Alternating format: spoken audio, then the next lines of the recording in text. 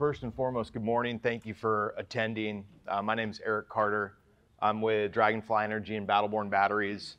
Uh, I work in the technical sales and support department. So I'm sort of the front line for the company. I'm on the phones, I'm, I'm answering emails. Uh, I work directly with a lot of the RV manufacturers and helping them support the, the batteries and the installs that, that they're offering uh, to your dealerships and at the end of the day to our, our shared customers at that point. Uh, this is my colleague. I'll let Brandon introduce himself. So I'm Brandon Newman. Been with the company for about three and a half years now. I come from the technical specialist background as well, so working with dealers. I now mainly focus on newer markets, kind of focusing a little bit away from RV, but my background is the bread and butter of our main market, which is RV. This guy taught me everything I know, so. Um, well, again, we've got a ton of info for you guys today. Um, if you haven't noticed, we, we are uh, documenting this training. So thanks for accommodating the cameras, the lights. Um, we've got a ton of material. So we're going to kind of present this to you guys in building blocks today. So some of it might be refresher of info that you already know and you're already dealing with on a day-to-day basis. But the goal for us is to basically say, hey, let us introduce ourselves and our company. Who are we? Why we feel lithium is the strongest choice for a mobile power system, and ultimately why Battle Born Batteries is at the top of that that pile. That that you know, there's so many lithium batteries out there on the market now, and we're going to kind of work this towards. All right, what does it look like to install batteries into a system? What are the do's and don'ts for wiring both the batteries and a lot of these popular components up. And we'll, we'll, we'll do this in chunks. So we're not going to try and present everything to you in one big burst. You know, so we'll, we'll do a chunk, we'll take a break, we'll do a chunk, we'll take a break. There's donuts and coffee back there. There'll be times that if you have questions, we'll, we'll, we'll, we'll get through them all. Um, you know, if you have something pressing, you know, throw a hand up and we'll, we'll, we'll, we'll get to it right away. Um, and again, we'll, we'll have time as we take our little intermissions and breaks to talk about any of this stuff um, that you may, may or may not know, and hopefully give you a whole bunch of education today moving forward. So this kind of educational series, we're just calling the Battle Born Batteries Educational Series, building complete lithium power systems for RVs with a focus on lithium iron phosphate batteries. So a little bit again about what we're going to talk about. So this first section, before we get to the first break, is going to be an introduction with Lithium 101. Now this might be where you're kind of hearing things that you've heard before. This may be redundant information for you. We're really trying to kind of drive home those main points about why we're selling lithium to our customers over the lead acid based batteries. And then we'll move into the different sections after we take a little break. So first and foremost, who is Dragonfly Energy? Everybody knows us by Battle Born batteries, but who is Dragonfly Energy? So it's actually the tech company behind Battle Born batteries. Dragonfly Energy is what we operate under. It's our corporation name. Battle Born Batteries is just one of our retail brands. So Dragonfly Energy as a whole is a lithium battery tech company. We do research down at the cellular level. You know, we've got a, a, lab with a bunch of PhDs in there with white coats on, kind of doing the whole battery integration thing. But you know, that's not everything that who we are. We're just we got R&D, we've got a whole team of technical sales. We do all of our manufacturing right in Reno, Nevada. So we take our cells, we're building battery packs, we're a pack assembler in Reno, and then we support it out of Reno as well. That's kind of where we got to where we are today been our technical customer support. Now, you can buy a battery online from anybody these days on Amazon, but who are you going to call when things start going south or you have a question on the system? You can call us if you've bought Battle Born batteries and we'll help you out. So we're located in the USA. It's be quickly becoming the lithium capital of North America. And we've got a few mines going in around us in Nevada that will eventually allow us to harvest lithium out of the ground from Nevada, build our own cells in Nevada, really kind of close that whole loop all the way through recycling. So a lot of new companies going in. You know, Redwood Materials is just down the road. They're a recycling company. Aqua Metals we work with as well, another recycling company. Of course, Tesla's there and Panasonic. So we're all kind of right in that little corner of northern Nevada. And so this kind of breaks down our current brands. And I think what everyone will know best is right there in the middle, Battle Born. Now, I, I don't. I know Airstream of Tampa is installing a lot of Battle Born batteries. By show of hands, who else is is dealing with active lithium installs today? Anybody else in the room? So for a lot of you, this is this is fairly new material. So that's that's why we wanted to start with this this 101 level and kind of show you who we are. So when we look at all right, who who's under our roof there in Reno? What are we doing? Well, again, Dragonfly and Battle Born is what you're going to see on the door. So, like Brandon said, Dragonfly has always been our company name. That's that's who we operate as, and we build different brands of batteries. So the two coming off of our assembly line right now are Dragonfly, which we sell specifically to OEM partners, and what you'll more than likely see a Dragonfly battery in is any Keystone RV product. So it's it's been a very widely accepted battery through the Keystone range. Then we have Battle Born. That's our direct to consumer, that's our retail battery. So you're going to find it online. You're going to find it in a wide range of OEM offerings Airstream, nuCamp, Ember, to name just a couple that you'll find on a lot of RV lots. And then our, our newest brand is WakeSpeed. And we'll absolutely touch on WakeSpeed here later in, in today's presentation. This is an advanced alternator regulator. So we're finding more and more that we want um, a high output charging source under the hood of a vehicle. So for us, the intent is bumper to bumper solution. Essentially, what we say is one throat to choke. So, can we give you everything from one set of doors in Reno? Absolutely. If that's what you're looking for, we can provide it. And so, as you step into that front door in Reno, this is kind of what you're greeted with. And for us, we operate in a 100,000 square foot facility, and there's about 170 employees that are employed by Dragonfly Energy now. So it's sort of a point of pride for us. When I started with the company, it was 20 employees in a 5,000 square foot warehouse. Uh, that was just about four and a half years ago. So you can see the, the, the growth for us has, has really accelerated quickly, and it's sort of come with that same rise as popularity in a lithium system. So as we've seen more adoption from the OEMs, we've seen a, a, requirement for more batteries, greater number of batteries built every year. Now, what comes with all those batteries is the need for folks like Brandon and I to support it. So there's a dozen of us that are on the phones five days a week in Nevada, answering questions, designing systems, making sure that we can support the, the products that we assemble there in house. So really one of the big keys for us in saying, well, who are we? Well, we're, we're, a battery company that actually understands batteries. You know, and that goes a long ways because we can basically, like Brandon said, start from the cellular level, help you understand the battery, but more importantly, help you understand all the other bits and pieces that go along with it that you're going to need for a successful install. And that's where we'll get to today through this, this couple hours of training. So, kind of the whole reason we've all come here today is comes back to the one question, why lithium? You know, why are we replacing all these lead-based batteries with lithium-ion batteries? You know, and everybody's a user of lithium batteries today, whether you like it or not. Your cell phone, your, your laptop, your computers, your tablets, those all have lithium batteries for the same reason. They can go through a lot of cycles, they last a long time, they're lightweight, so you're all lithium users. Why not translate that over into your RV where you're also trying to be comfortable, live, run appliances? The same thing. So we like to use this chart as kind of our customer facing chart. This is something good that you can print out. You can have it at your sales desk. You know, when you're coming to like close a sale on an RV, you want to do an upsell. This is a good thing to point to. So just running through the categories here of what we're comparing, Depth of discharge. With lithium iron phosphate or Battle Born, you're going to get that full 100% depth of discharge. If you do fully drain a battery with a BMS, that BMS is just going to shut off the battery until you recharge it again.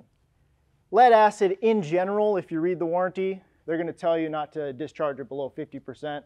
Got that 50% discharge floor, so a single 100 amp hour battery, they really only want you to use about 50 amp hours Sometimes you won't even get that under high loads due to the internal resistance. Battery life, the Battle Born batteries with the cylindrical cells, you're gonna get 3,000 to 5,000 cycles. How we landed at 3,000 cycles is that we did 3,000 full discharges at a 1C rate and then 3,000 recharges at a 0.5C rate, which is our max recommended recharge rate. And after 3,000 cycles, we had 80% capacity remaining.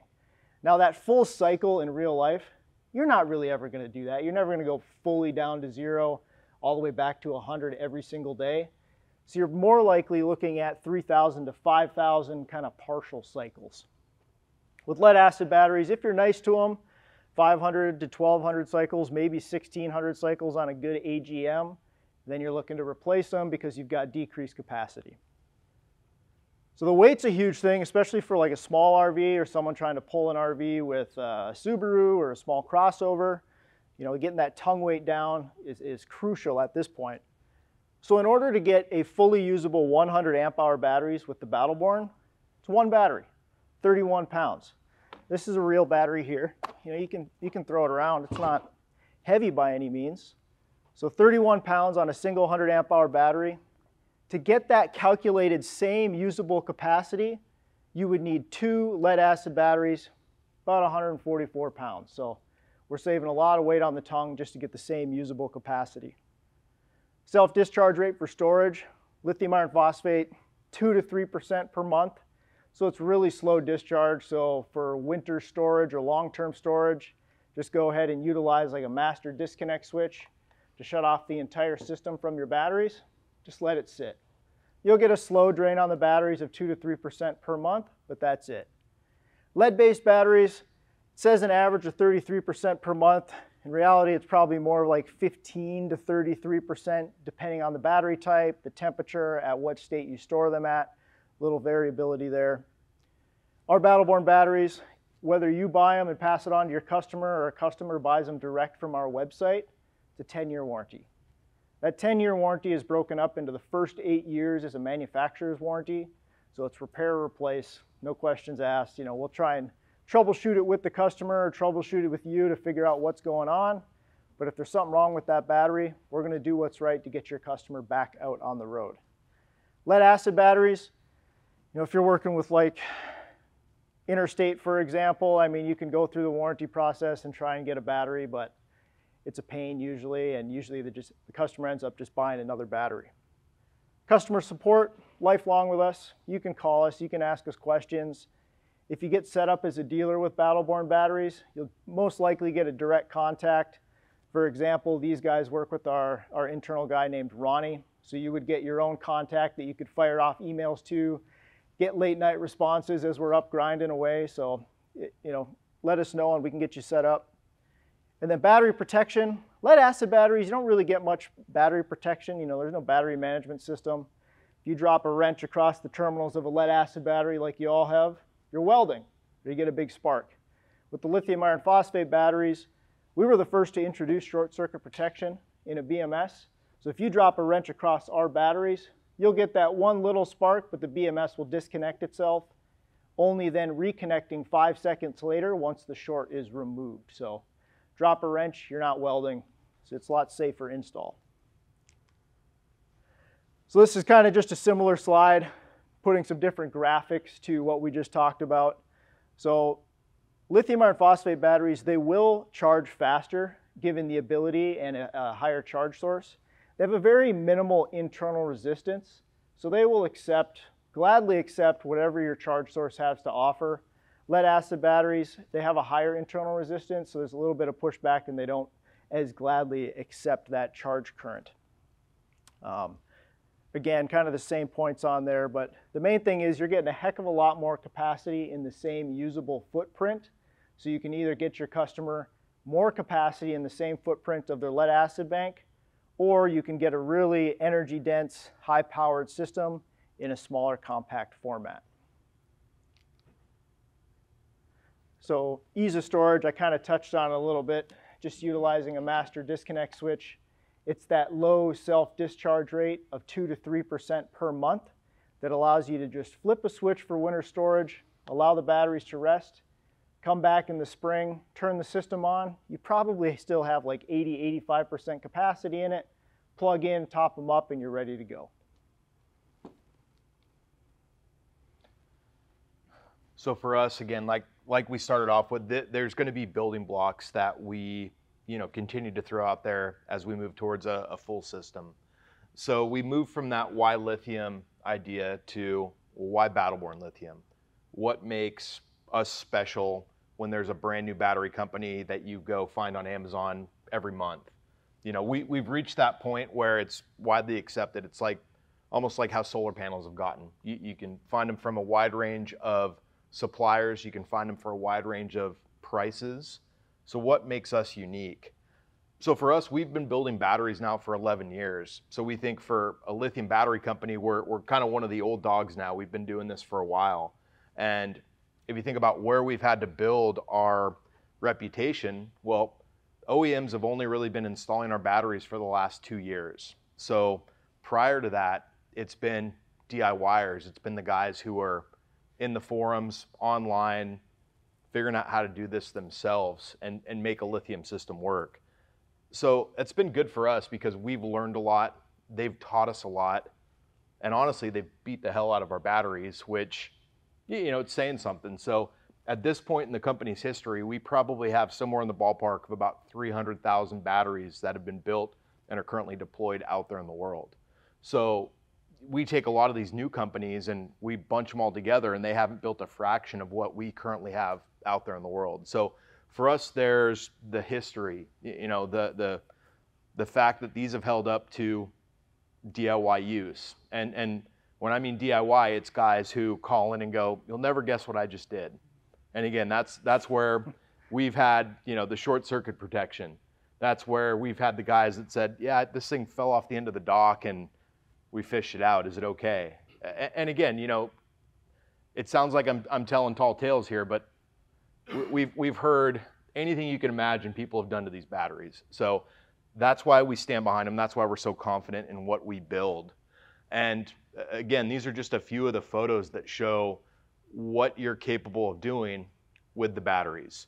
Um, one of the other things that we're really proud of is the, the different charging sources, the wide range of use that you can use with these batteries. So anything from your traditional shore power charging source. I mean, we've worked with folks that are using wind power, water power, heavy duty alternators with external regulators. So the sky's the limit. It's really just a question of, hey, sir or ma'am, what do you want to do with the batteries? Let us help you design that. So that's ultimately what part of why Battle Born Batteries is. It's we can help both understand what the batteries will do and how to implement them into the system.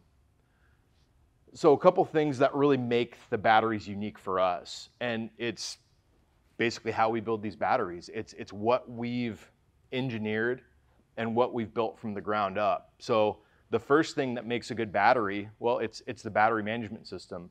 How are we able to get you those three, four, five thousand cycles it's the fact that each and every one of these has an internal BMS, and that's the insurance policy for the power plant, for the cells of the battery itself.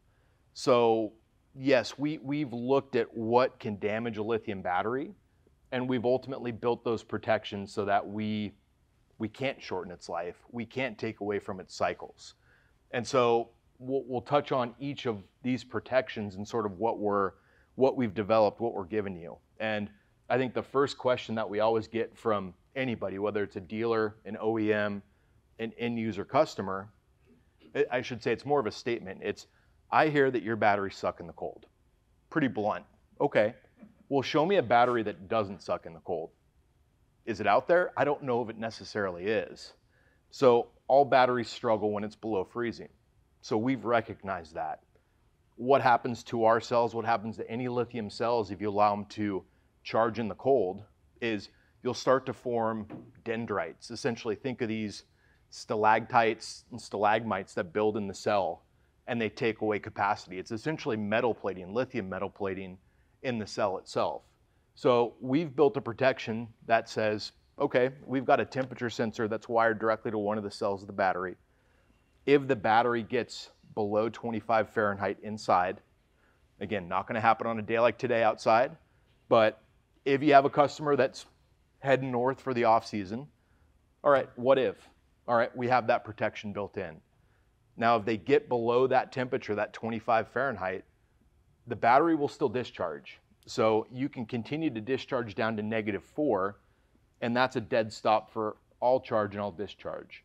So we've built those thresholds in to protect the cells. On the high end, we've got 135 Fahrenheit upper limit. So that means no charge and no discharge above that internal temperature on the battery. Again, it's going to take a pretty special day to get you there. Could it happen in Vegas or Phoenix this time of year? Maybe. What happens if the cell is exposed to that extreme high heat as we start to see chemical breakdown? So that lithium iron phosphate will start to degrade. And again, you'll lose capacity and you'll lose cycle life of the battery. So high and low protection built in, high and low voltage. And what we mean by that, so high voltage is essentially if we have an unregulated charge coming in. If we have a solar panel with a charge controller and that charge controller fails and we're getting high voltage coming straight in from the panel, the battery will not uh, allow that high voltage acceptance. So anything higher than 14.6 volts and we have a high voltage protection.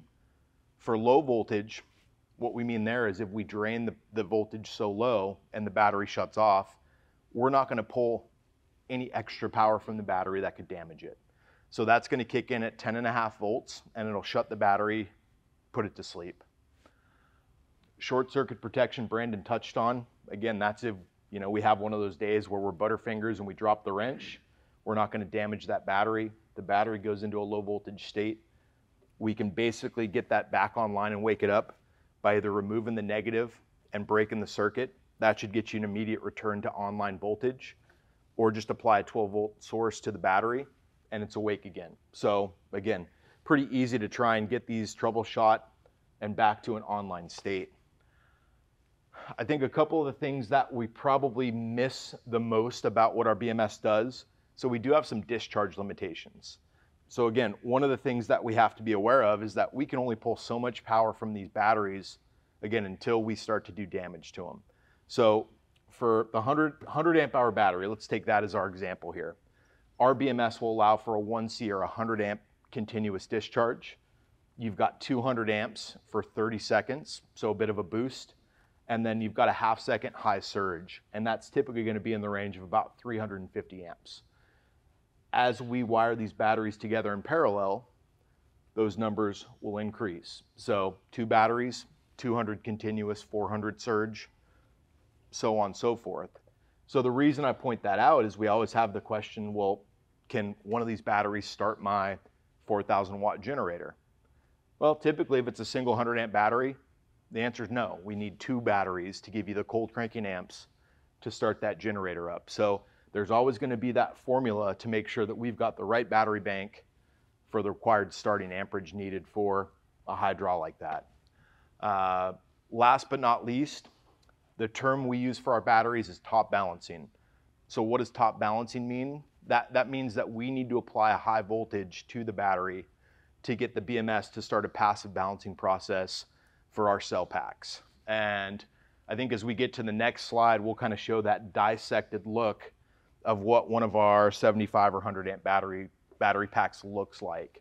And so, perfect transition there. We've got four modules or four cell packs and what each of these are made up of is our 26650 cell.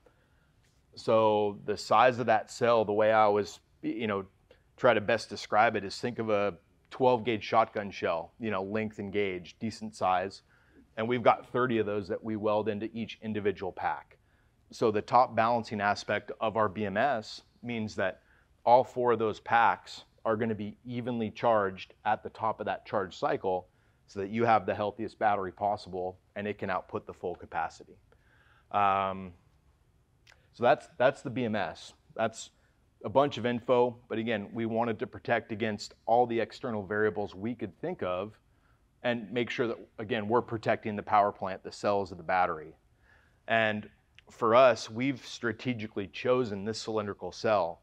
So we're one of the few companies that are currently building lithium iron phosphate batteries that use a cylindrical cell, and we chose this strategically. The big reason for us is that when we build these modules, these cell packs, it leaves an air gap between the cells themselves, so the batteries can operate at the most efficient temperature possible, even if we're drawing a high load or we're charging under a heavy input. Um, so for us, safety is always the biggest concern. Those are the big reasons why we've designed the BMS like it is and why we've chosen this cylindrical cell. So a couple more things to touch on. So here, here's the two most popular cell types that you're gonna find in lithium batteries today. So cylindrical and prismatic, or essentially a pouch cell. So the big reason that you're seeing people use prismatic cells, it's cheaper, easier to build, and ultimately lighter weight. So what does that get you? It gets you a lithium battery that's slightly lighter than ours. It's gonna cost probably a couple hundred bucks less than ours, if not a little more. And it's easier for the manufacturer to pump these things out. Now, with everything that we can list as a pro for prismatic, we have to consider the cons. And what are those cons? So sitting these pouch cells right next to each other means that they're effectively touching. So we don't have any air gap. We don't have any way to pull heat off of those cells under high charge or high discharge. So we always run the risk of high heat in a battery pack like that. Um, with these cells, they're very angular. So if we have a battery that's dropped, if we have something impact it, you run the risk of one of those cells becoming damaged or essentially leaking or bursting. So again, there, there's a higher failure rate on a prismatic cell than a cylindrical cell. And if you lose one of those cells, well, you don't just lose a small amount of capacity, you lose the whole pack. So it's an all or nothing sort of proposition when we talk prismatic. If we lose a single cylindrical cell in our battery, we lose a small amount of capacity, but we don't lose the entire module or the pack itself. So there's an advantage in that cylindrical cell in that we get a, a, much better performance from the battery in terms of operating temperature. And also its I guess, risk of not becoming damaged if an event were to occur, such as a drop, you know, or an impact. All of our batteries have to go through UL testing, so they have actually all passed a three-foot drop test, and that's what we have to have to have performed along with a number of other tests to get them to a point where they get that UL listing. So again, we've we've beaten the hell out of these things just like a lot of the DIY customers have to make sure that they are going to hold up for that 10 years plus that we give you guys. So kind of all that put together, you know, is a recipe for providing the cure for battery anxiety. Anyone who's been using an RV for the past 10, 15 years or longer, you've all ran out of battery power. You've gone completely dark when you didn't want it to. And you probably either started making phone calls or you were searching for a generator or a place to plug in. So what we think the cure for battery anxiety is, and we get that from a lithium iron phosphate Battle Born bank, is they're going to be maintenance free. You don't have to top them up with water. You know, you don't have to do any careful storage practices. They're very easy to work with. We don't have a discharge floor, so you don't have to monitor or stop pulling power at any specific time.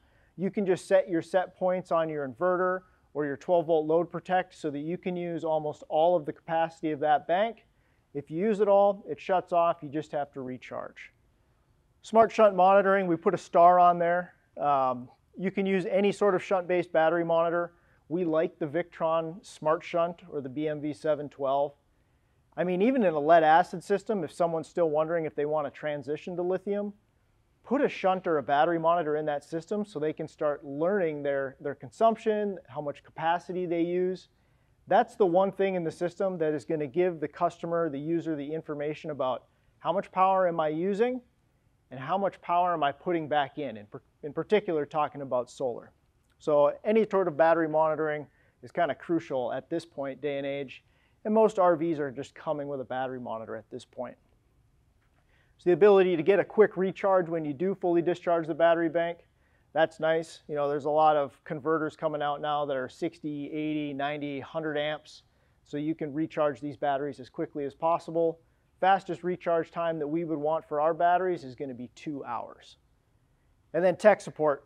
You know, we get calls every day when people are out using their system. Hey, I just installed this high energy power system. I did it myself. I didn't test it. I brought my family with me to go test it on a week long trip. Nothing's working. We'll help them out. So then you start looking at, you know, why Battle-Born batteries? And then you start looking at all the competitors, right?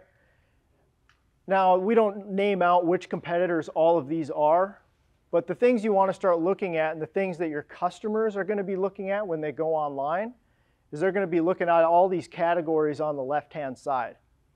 So a lot of these we've already just heard about us comparing lithium batteries to a lead-based battery, but looking at the depth of discharge is important. Our batteries, it's a full 100% depth of discharge. We claim these are a 100 amp hour battery. I know that when these are tested and they come off the line, BMS shutdown happens probably around 110, 114 amp hours consumed. So we are underrating our batteries, giving the customer even more capacity, and that's due to the high grade cell that we're at at this point. A lot of the other lithium, uh, lithium competitors, if you start reading their manuals or their data sheet, they only want you to use 80% of that battery. They don't tell you that up front, but they want you to only use 80% of that battery because maybe their protection set points aren't giving a strong enough buffer where if you go below that, you risk completely de depleting each of those prismatic cells. So you also want to look at life cycles. You know, you can see life cycles ranging anywhere from 2,000 up to 6,000 cycles. How they're rating all that, I don't know.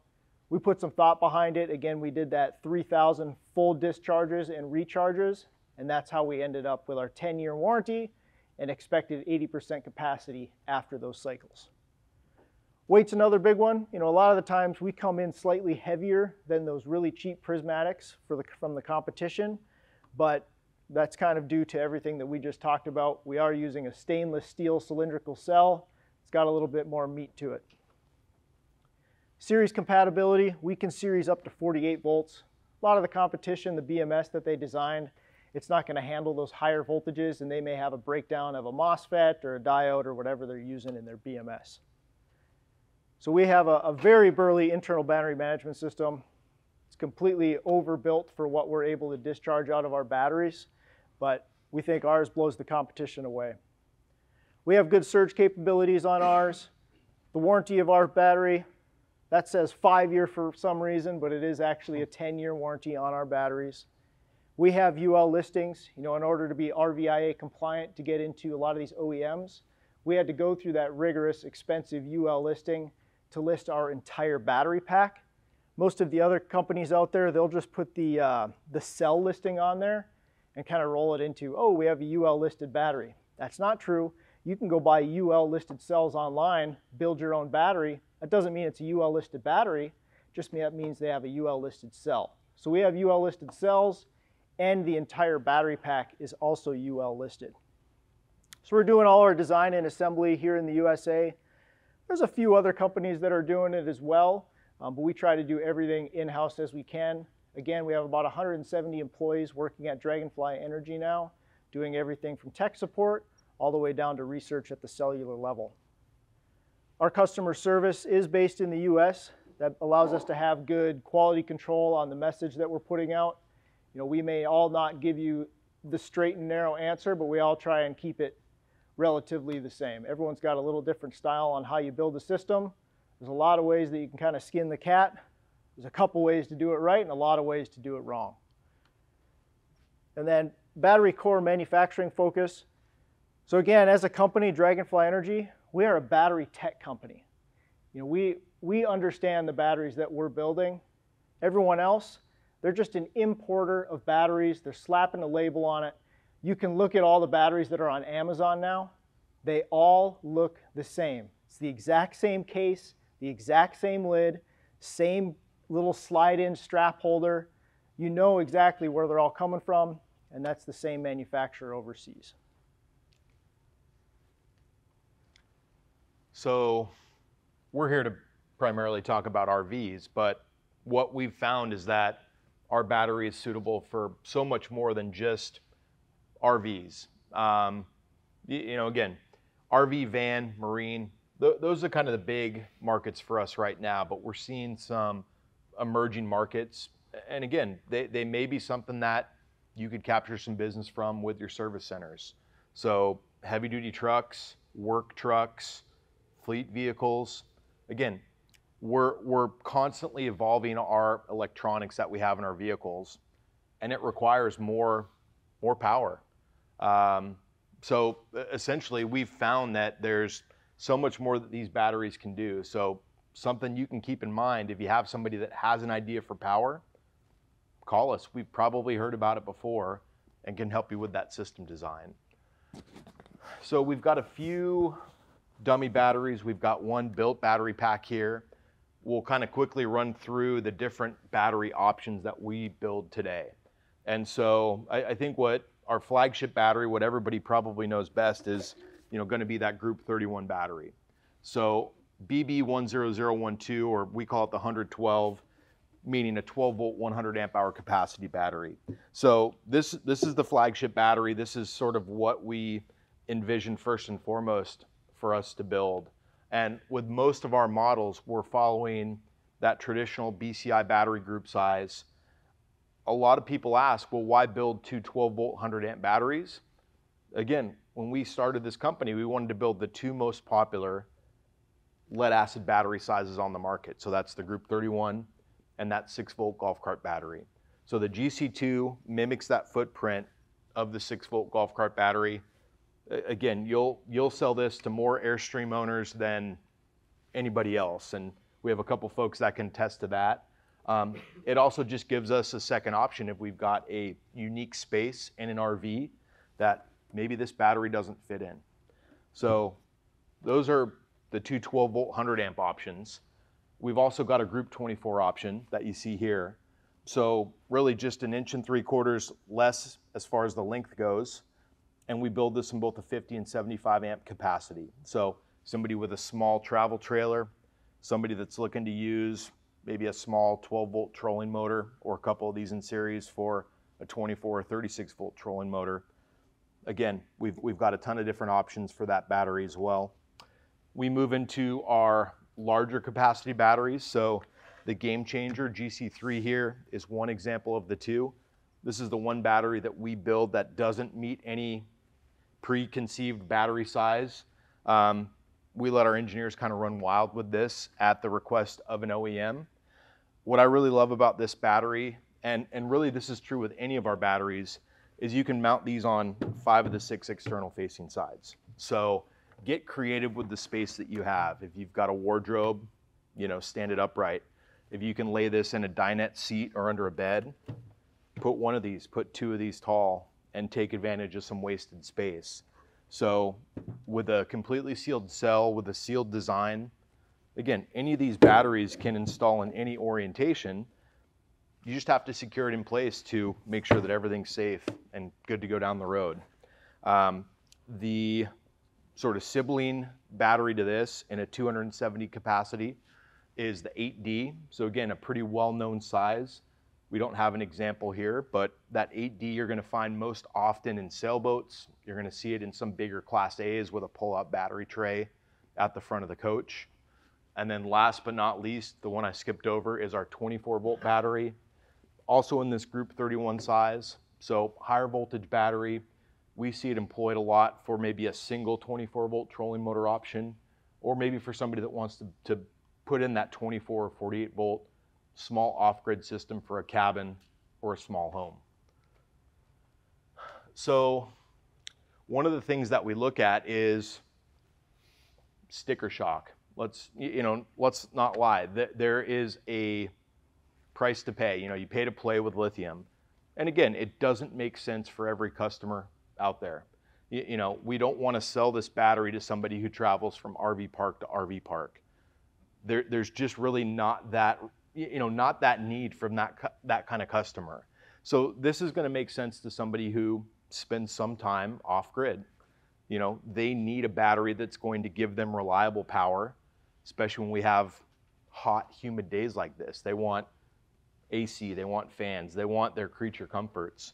So what this slide talks about is it talks about, well, the cost of a lithium battery versus a lead acid battery. And this is the way to kind of break down and dissect how much you're paying per kWh, per kilowatt hour. And so what we look at on this slide, and we won't bore you with the details, is we essentially did some testing and we took a whole range of batteries. We've got a full white paper that's online that you can read through if you really want to get into the weeds on battery testing. But what we're saying is that this is the cheapest battery you'll ever buy.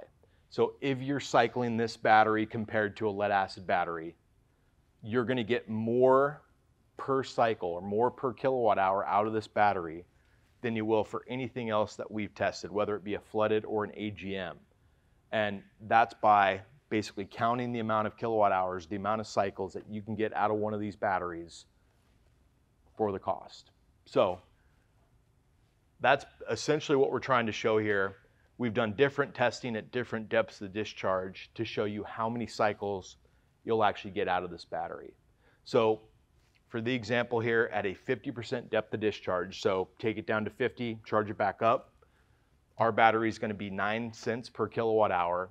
Essentially what you're going to get is you're going to get a battery that will give you about 12,000 cycles versus a lead acid that might give you 800 on its best day. So that's ultimately what we're trying to pass on there. We can do these. So we make every battery that we have in a heated battery option. You know, it'd be a different SKU that you'd be ordering at the time. You're just throwing an H on the end of that SKU. So the SKU for this battery in particular is BB112. The heated version would be BB112H. So why the heck would we have a heated battery? Well, our BMS is going to stop that battery from accepting a charge once it gets below 25 degrees Fahrenheit.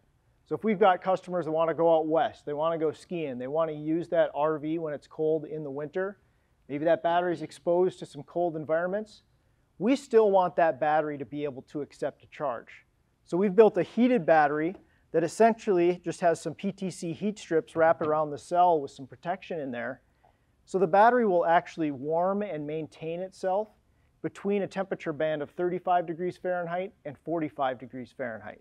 And it will duty cycle within that temperature range, turning the heat circuit on to warm up, off to cool, on to warm up.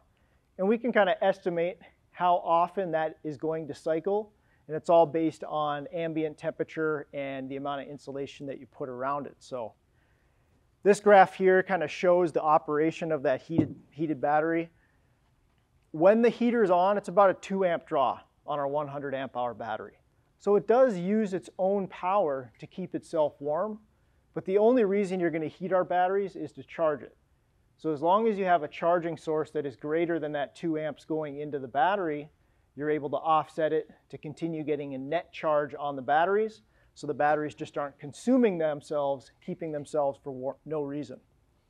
So we can assume how often that heat on cycle is, and it's all dependent on ambient temperature, insulation, you know, it's basically heat in and heat out. So if we go ahead and put insulation around the batteries to capture that heat that is generated by that heat strip, we're really able to minimize the amount of time that the battery needs to heat itself, keeping it in that kind of cool down range by capturing that heat generated. There's a linear relationship between ambient temperature outside and how often the heater actually stays on. So for this test, we've used some low E insulation, which it's just Reflectix, that reflective bubble wrap stuff that you can get. And I put this in an aluminum enclosure, an enclosure that you kind of find on the side of the road where you've got a pole with a solar panel on top, aluminum enclosure, and inside of that is a battery powering a light or a street sign or something. So that was kind of the test bed for us to test the heated battery with insulation. We insulated that metal compartment so we could watch the heat being captured from this heated battery. And as we got colder, of course, the heater stayed on longer. Now, without any insulation, our battery will only effectively keep itself warm down to about zero degrees Fahrenheit. But with just that reflective bubble wrap, we were able to get down to about negative 35 degrees Fahrenheit before the battery heater could no longer effectively warm itself above that 25 degree Fahrenheit threshold. And the insulation used, again, real thin reflective bubble wrap, If you put some good pink R6 foam in there or something like that, we can get even colder. So we've tested these in really cold environments.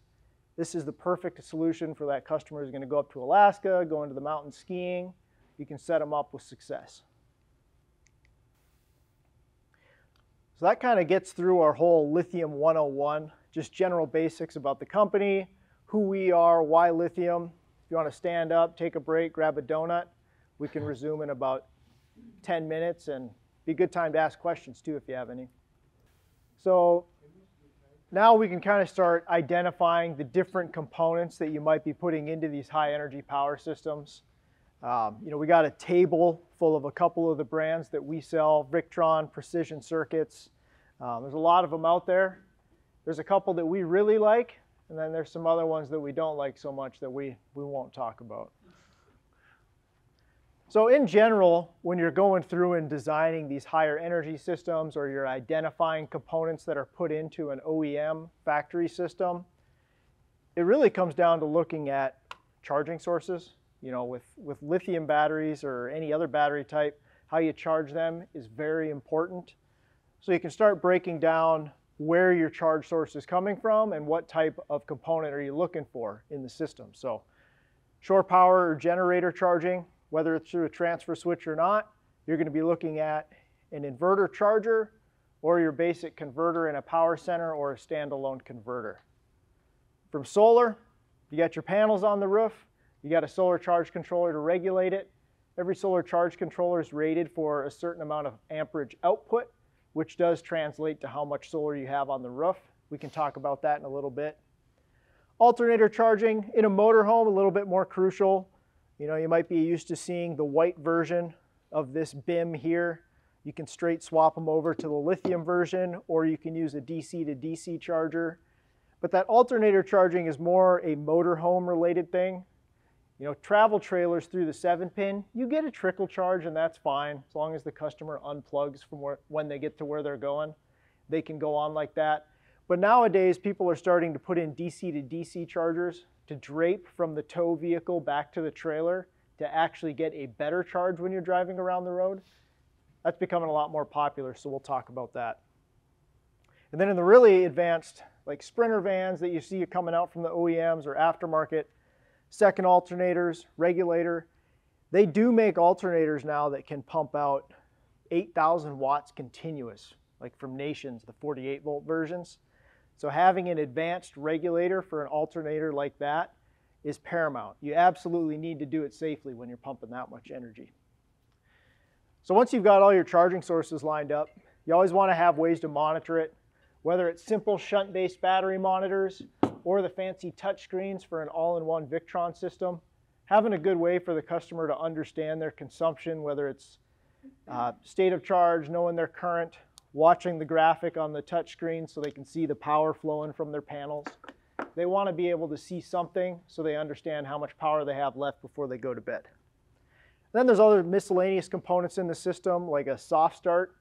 Uh, we did not bring a soft start or an easy start, but if your customer wants to run an air conditioner off an inverted system, put that soft start on there to replace the start capacitor so you don't get that heavy hitting compressor hit right when you turn it on.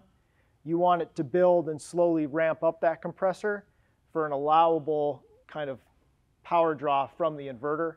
A lot of those good inverters, like the transformer-based inverters that can handle that high surge capacity, they may start and run that compressor for a while, but as the compressor ages out and maybe demands a little bit more current, eventually it's not going to work in the system. So, you know, we've partnered with a lot of different brands in the RV industry or in the, the stationary markets as well. For the mobile power systems, Victron Energy, you know, we pushed a lot of Victron Energy into the OEM space, which is why you kind of see it now. We're North America's number one distributor of Victron Energy. And because Victron doesn't really have that direct technical support line, we are the Victron technical support line when you buy Victron from us. You kind of always have to go back to your distributor.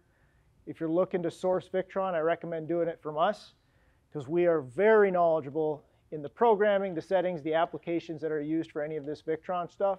So just give us a call and we can set you up. Progressive Dynamics for converters. we've been working with them longer than we worked with WFCO. Progressive Dynamics came out with that good lithium replacement a heck of a lot longer before WFCO did. Now WFCO is revising and fine tuning that auto detect version that they have. Um, so that's working a lot better now as well. Yes. What's that? There's a secret to it. You have to put it in the lithium setting. No, no, no, no. The auto detect, Yep. if you just hook it up, it will not detect those batteries. Mm -hmm. Hook it up. Turn the one ten power off to your converter. Yep. Let it draw down to about thirteen volts, turn it back on, bam, it knows it's. Otherwise, You got to look for the blue light. And unfortunately, the light is in the back of the box, but you got to watch for the light to go from green to blue. Yep. Red Arc's a new one for us. Um, we brought on Red Arc actually only a couple weeks ago. So Red Arc is extremely popular in the overlanding computer or overlanding community. They're an Australian-based company. Those guys have been overlanding, four-wheeling, camping, call it whatever you want, for a really long time. They make a lot of really good components. In particular, I really like their DC to DC chargers. They're completely potted and waterproof. So if you're doing like a 4x4 or a truck camper, you can mount that Red Arc BC to DC charger right up on the by your radiator. It can be completely exposed. I mean, you can dunk these things in a bucket of water and watch them still charge. They're pretty good components. Um, we use micro air for the easy starts. You can also use the RV soft start. More important that you just have some sort of soft start in there for the air conditioner that you want to run. Which brand you use, it doesn't really matter. They're all, they're all good. Rich Solar was a solar panel company that we brought on maybe a year and a half ago. Panels are relatively all the same when you kind of start looking at Rich Solar, Renogy, Newpowa. You know, they're all very similar in their build. They all have that same aluminum frame. We liked Rich Solar because they would pick up our phone calls and they would pick up our customer phone calls. So if you guys are looking to source some panels, I'd recommend Rich Solar or Newpowa. We finally brought them on as well. They make a lot of solar panels in a lot of other markets that we use. Like they make the class one Div 2 stationary panels that you might find on like an oil pipeline. Um, so they're in a lot more markets than just RV as well. And then Merlin Solar, you know, they make the best flexible panel that's out there, bar none. You know, you, they have all the videos where they're shooting them with a Glock and they're still, you know, performing at just decreased output. So they've become very popular. I do believe Airstream is putting on Merlins from the factory. Yep. Oh, well, that's fair. Yeah. they make a great panel. Yeah. So really, as we talk about what we're going to find in the RV, we want to make sure that, well, we, we approach what we're looking to do in the RV. And so this will continue to lead us down a path of how we envision the RV power system for the customer. And a lot of it for us is asking that introductory question what the heck do you want to do? You know, do you just need slightly more power? Do you want less maintenance of your batteries? Do you want to, you know, erase the stock system and put in, put in something custom? Do you have a specific requirement? And so by kind of asking these probing questions, it then leads us to, all right, well, I need to understand that we're approaching this and looking at powering two separate electrical systems in the RV. So we've got our, our 12 volt and our 120 side. And as we understand what the customer wants, we can then start to plan what that system is going to look like and what some of those individual component replacements are going to be. So for us, we just, you know, really wanted to kind of list out some of those common requests that we get and what you'll likely get. And, you know, I, I think it can start from the basic of, I just want my creature comforts to be powered better. My 12 volt fans, my lights, my 12 volt fridge, my water pump, you know, just give me a, a, better performing system. And we'll get folks that will absolutely pivot from that and go, well, I've got two rooftop air conditioners and a residential fridge and two CPAPs and, you know, spare no expense. I need this thing to run day and night. So we want to try and give you, you know, the understanding of, all right, well, here's what we need to power, and, and here are the different paths that we have to take to create a system to power that. So we'll start with the easy stuff. And, and again, I don't think this will be anything more than just review for everybody. Converter chargers. So it's really identifying and qualifying that converter charger. So I think you're going to see on a lot of these slides, we'll list our recommended charge profile. And we haven't touched on this yet. So for us, we, we, we've put a three-stage charge profile up here. So essentially bulk and absorption, 14.2 to 14.6. So here's your key number to remember. We need a charging source that hits that voltage. Again, we'll go back to the BMS. That's where the passive cell balancing is going to occur. So we need to get that from at least one of our charging sources. Float 13.4 to 13.8 volts. We try to offer a pretty wide range there so we can qualify the highest number of chargers possible for use. And then equalization can either be fully disabled or set to mimic that bulk and absorption number. So we have a safe voltage that comes into the battery. Uh, the, the one thing that isn't put here as sort of a, a side note is if we've got a temperature compensation that's part of the charge process, we want to try and disable that as well. Lithium batteries need no temperature compensation. We've got that, again, built into the BMS so that if we hit too high or too low, that protection kicks in. But essentially, that's what we're looking for in every converter charger that we check. So whether it's a, uh, a wall mount, a full power, power center, or a deck mount, we're able to look at the voltage that that can output and we can either validate it or we can find a replacement. Uh, so again, converter chargers, pretty easy. I think the, the second most common charging source that we're seeing on almost every RV on a lot now is you're gonna see more than likely a single or maybe two solar panels installed. And you'll see them, you know, really offered in a range. So flexible panels like we talked about from folks like Merlin Solar or Newpowa, a lot of portable panel options now. And again, this makes sense to us. Go park in the shade, throw a panel out that you can adjust through the day and use that as a charging source. All the way to filling the roof with fixed panels. If you want to really create that off grid power plant, be able to run those air conditioners all day without a thought of how am I going to recharge these things, you know, to continue to operate really the, the combination of the solar panel and the solar charge controller, we go through that same qualification process. It's checking the manual or checking the output on the charge controller itself. So I think we've shown you know a lot of the popular options that you'll find coming both from an OEM side and also chosen from the aftermarket side. So we've got the Go Power, you know, just their, their 30 amp PWM. We've got the Zamp Solar on the other side. Victron's 30 amp option, and then as Brandon mentioned, the Red Arc. And what's great about a lot of those Red Arcs is they offer the BC-DC, which will do both DC to DC and solar charge MPPT option as an all-in-one. Um, so whatever it ends up being, we're just looking to validate that charge profile.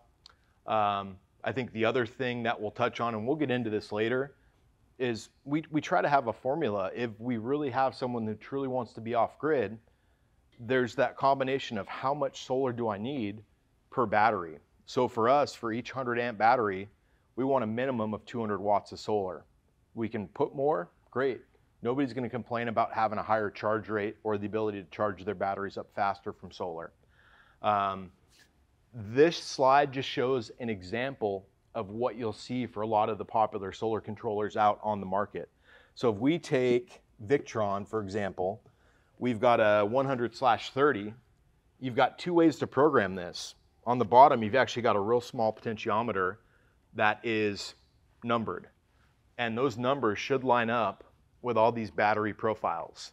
So we go down the list, we find number seven on the bottom of this Victron, and we know that it's going to give us 14.2 for bulk and absorption, 13.5 for float.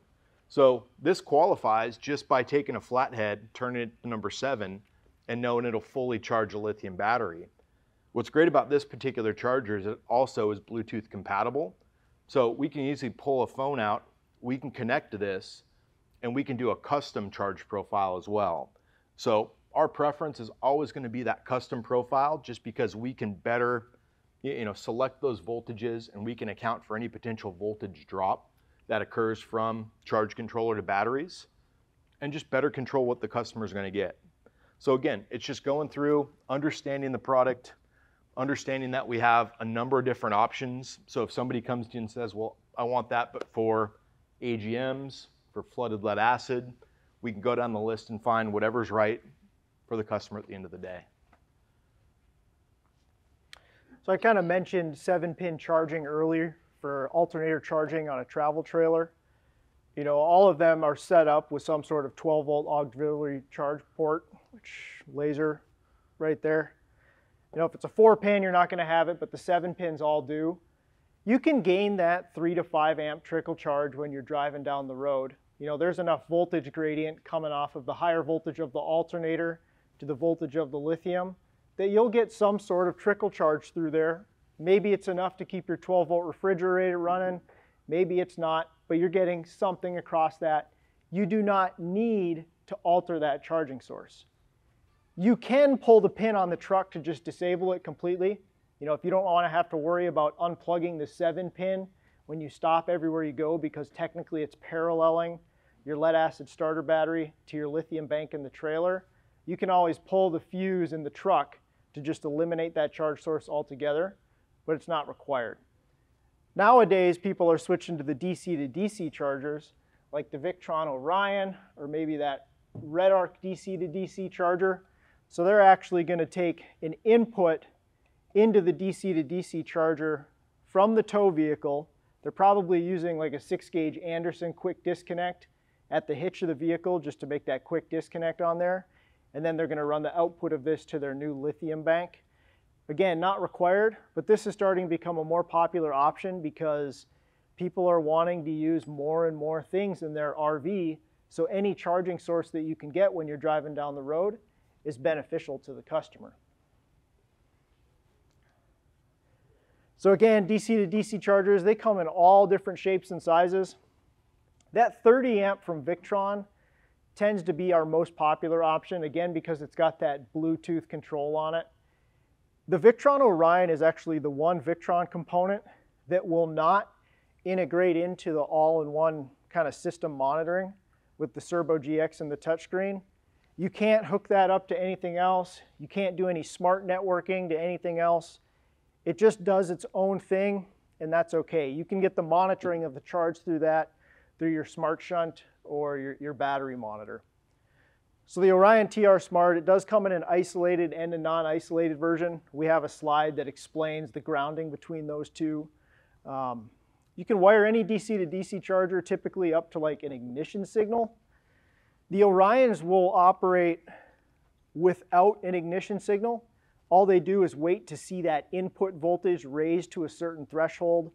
Then it will start charging. And then when you shut the vehicle off and that the input voltage drops back down to a normal lead acid level like 12.8 on a starter battery, it'll just stop charging. But you can rig them up with an ignition wire. So if you put 12 volts to the H pin on here, it will automatically turn on and automatically turn off as you turn the key on and off in the truck. So it's a lot of different options. Most people just run with the factory default of operating off of the input voltage. Just eliminates one wire for you to hook up. Victron's bigger option is the buck boost. We mainly use that one in the 50 amp and the 100 amp version, but they do have a smaller 25 amp. They're all non-isolated, which means it requires that common ground. I don't really like to use the non-isolated ones when you're doing a tow vehicle to a trailer operation, but non-isolated does work really well in a motorhome when everything is grounded to that common 12 volt chassis. So the buck boost, the 100 amp version, you get a solid 100 amp output on that one. Programming of the buck boost, it's not Bluetooth. They've been talking about coming out with a Bluetooth version for a long time now. Hopefully we'll see that at the start of next year. But programming a buck boost right now, you actually have to get that kind of old school style printer cable, which I think it's like USB-B to USB-C, the old square cut off corner printer style cable. You hook it up to your laptop, and then you run what is it TS config? TS config, yep. There's a program called TS config that you download online for free. You're just plugging in voltage values. It's actually such a smart converter that it will only start charging once it senses a certain vibration from the idle of the vehicle. You can turn that on or off, but on default it's on. So once it starts feeling the rumbling of the engine, it will start charging. The RedArcs are both a DC to DC charger and a solar charge controller, or at least most of them are. So they've got a 50 amp, a 40 amp, a 25 amp, and then now a little 12 amp from, uh, for 7 pin charging. They came out with the 40 amp strictly due to the, uh, the sprinter limitations on the OEM sprinter options. If you read the manual from Mercedes-Benz, they tell you not to charge an auxiliary bank with more than 40 amps. I've actually recently heard that for 2023, they're bumping that up to 60 or 80. So there's some leeway on putting on a larger DC to DC charger without voiding the warranty. But up until now, 40 amp was the limitation. So most people were putting in a 40 amp RedArc or a 30 amp DC to DC charger. How you program the RedArc, it's not through Bluetooth. There's no graphic user interface. There's just two wires, a green and an orange. You short them together, tie them off, put some heat shrink on it, you're in lithium mode. Undo them, you're back to lead acid. So pretty easy for you to install, easy for the customer to install. I haven't had a problem with one yet. Then you get into the really high energy alternator charging and you start talking about Wakespeed. So Wakespeed is actually a company that we acquired maybe a year ago. You know, they, they're kind of the direct competitor to Balmar in the marine market for high energy alternator regulators. What Wakespeed does differently compared to like Balmar and the other common regulators on the market is this will charge based on voltage and current. So getting that current in there allows you to really kind of press how much current you're going to put into that battery bank because this knows how much current is going into the battery bank. If you look at a Balmar external regulator, all that's doing is sensing its output voltage and it's driving the alternator based on that. This is driving the alternator based on voltage and current, so we can really push the limits of how fast we can recharge a lithium battery bank. If it's a closed loop communication system where you have like a smart BMS that is talking to this, you can walk a very fine line and ensure that you're never going to run into a situation where the BMS opens. We'll have smart batteries this fall, so we'll be able to operate on that type of system. So this got a bunch of hookups on it. There's a, a harness port on here, which is this harness right here. And then there's a couple RJ45 jacks.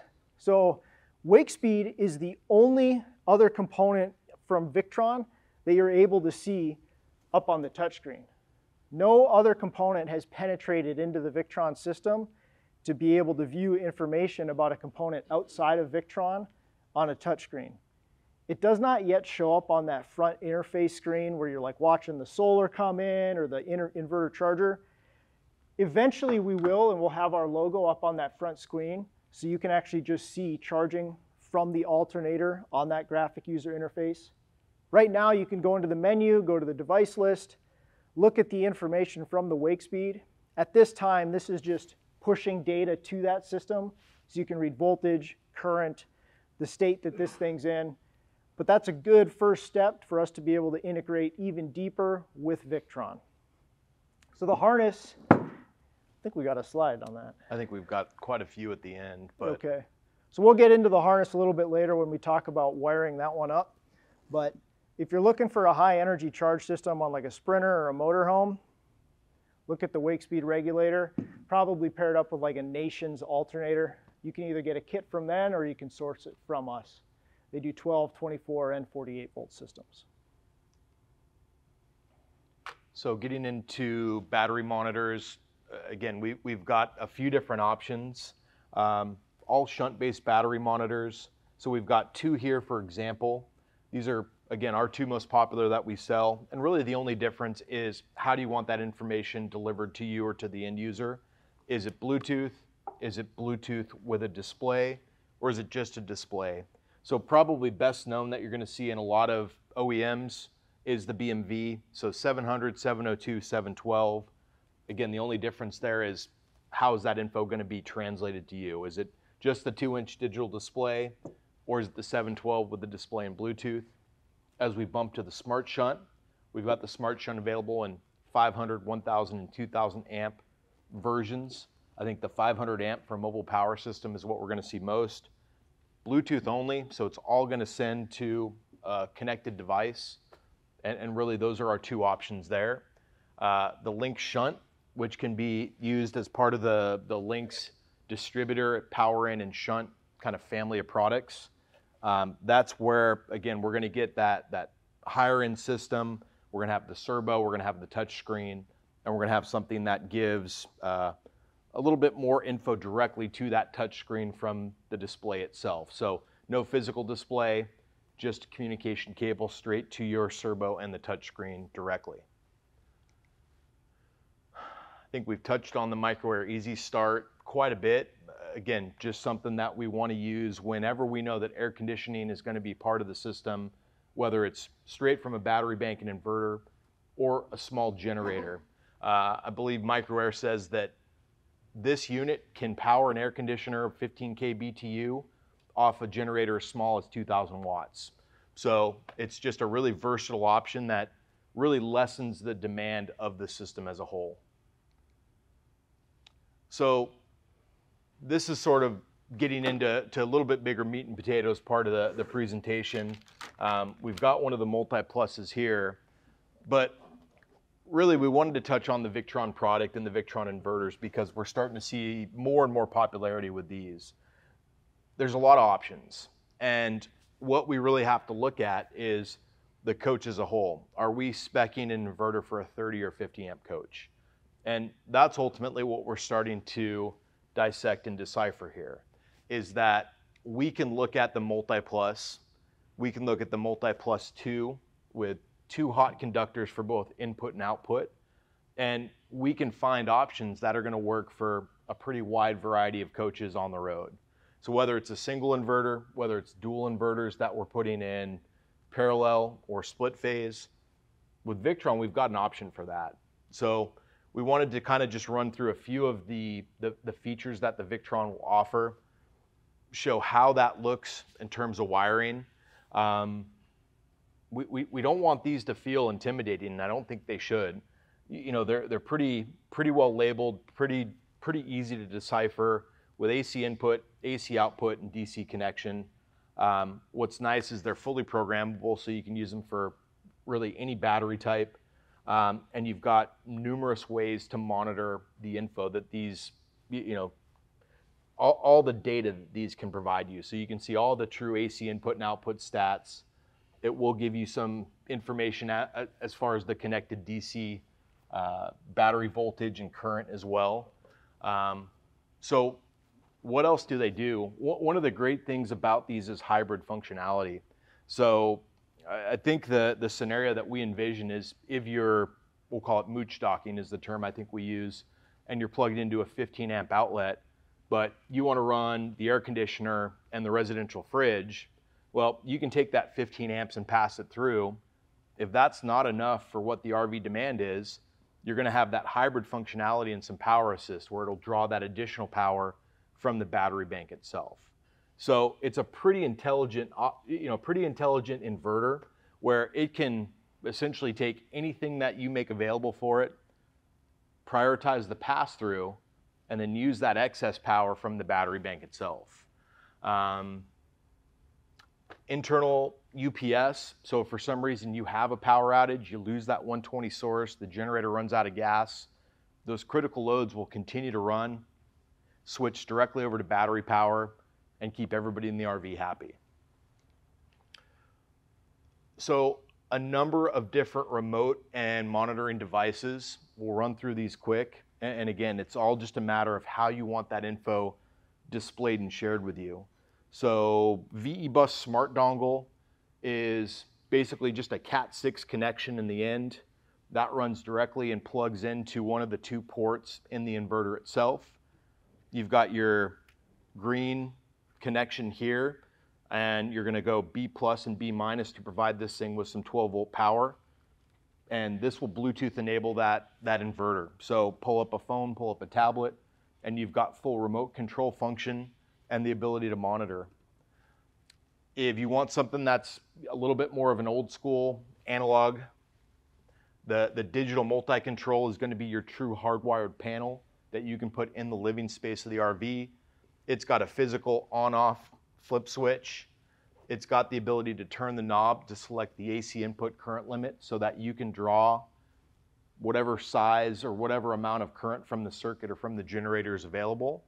And you've got the full display of LED lights that would normally show up on the front of the inverter itself.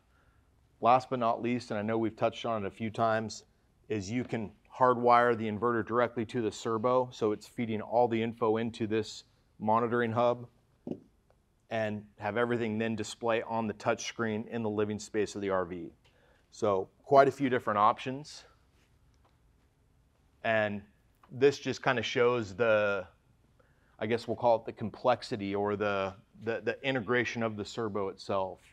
So we really, you know, touch on this. If you want someone that wants a full Victron system, they want full system monitoring. This can accept anything from inverter, battery monitor, solar charge controller. This has a, a whole number of tank sensors on the bottom. We can set up auto gen start relays. So, you know, the sky's kind of the limit with this particular box, depending on what the customer wants. And it can go as far as, again, integrating with a five or seven inch touchscreen. Um, what am I missing? This, this has Bluetooth capability, but the only thing that you can do via Bluetooth on a Cerbo is hook this thing up to the Wi-Fi that's present. So Bluetooth on that component's extremely limited, but it can get you onto the Wi-Fi based one that allows you to do some remote management. And so here's just sort of a taste of what that interface or that management looks like. So we keep talking about the Bluetooth function of a lot of these products. That's all going to be accessible through Victron Connect. So when you pull that app up, you're going to have a device list or it'll give you some quick stats on the device itself. And then through just the touch of a button on your phone screen, you get into a full interface of that particular device. This is great for monitoring. You can go through and do all your programming of the devices via the app itself. Uh, you can even update firmware by just the touch of a button as well. Uh, so Victron Remote Monitoring or VRM is a further step in.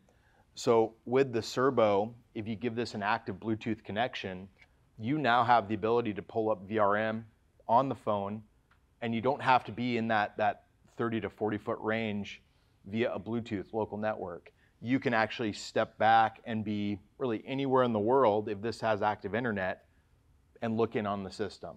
So it can give you that same remote control access, that same programming ability. So we find it a, a really valuable tool if we have a customer who has internet that's enabled in the, uh, in the RV, we can log into their VRM or they can grant us access and we can do all the programming and firmware updates from our desk in the office straight through their system.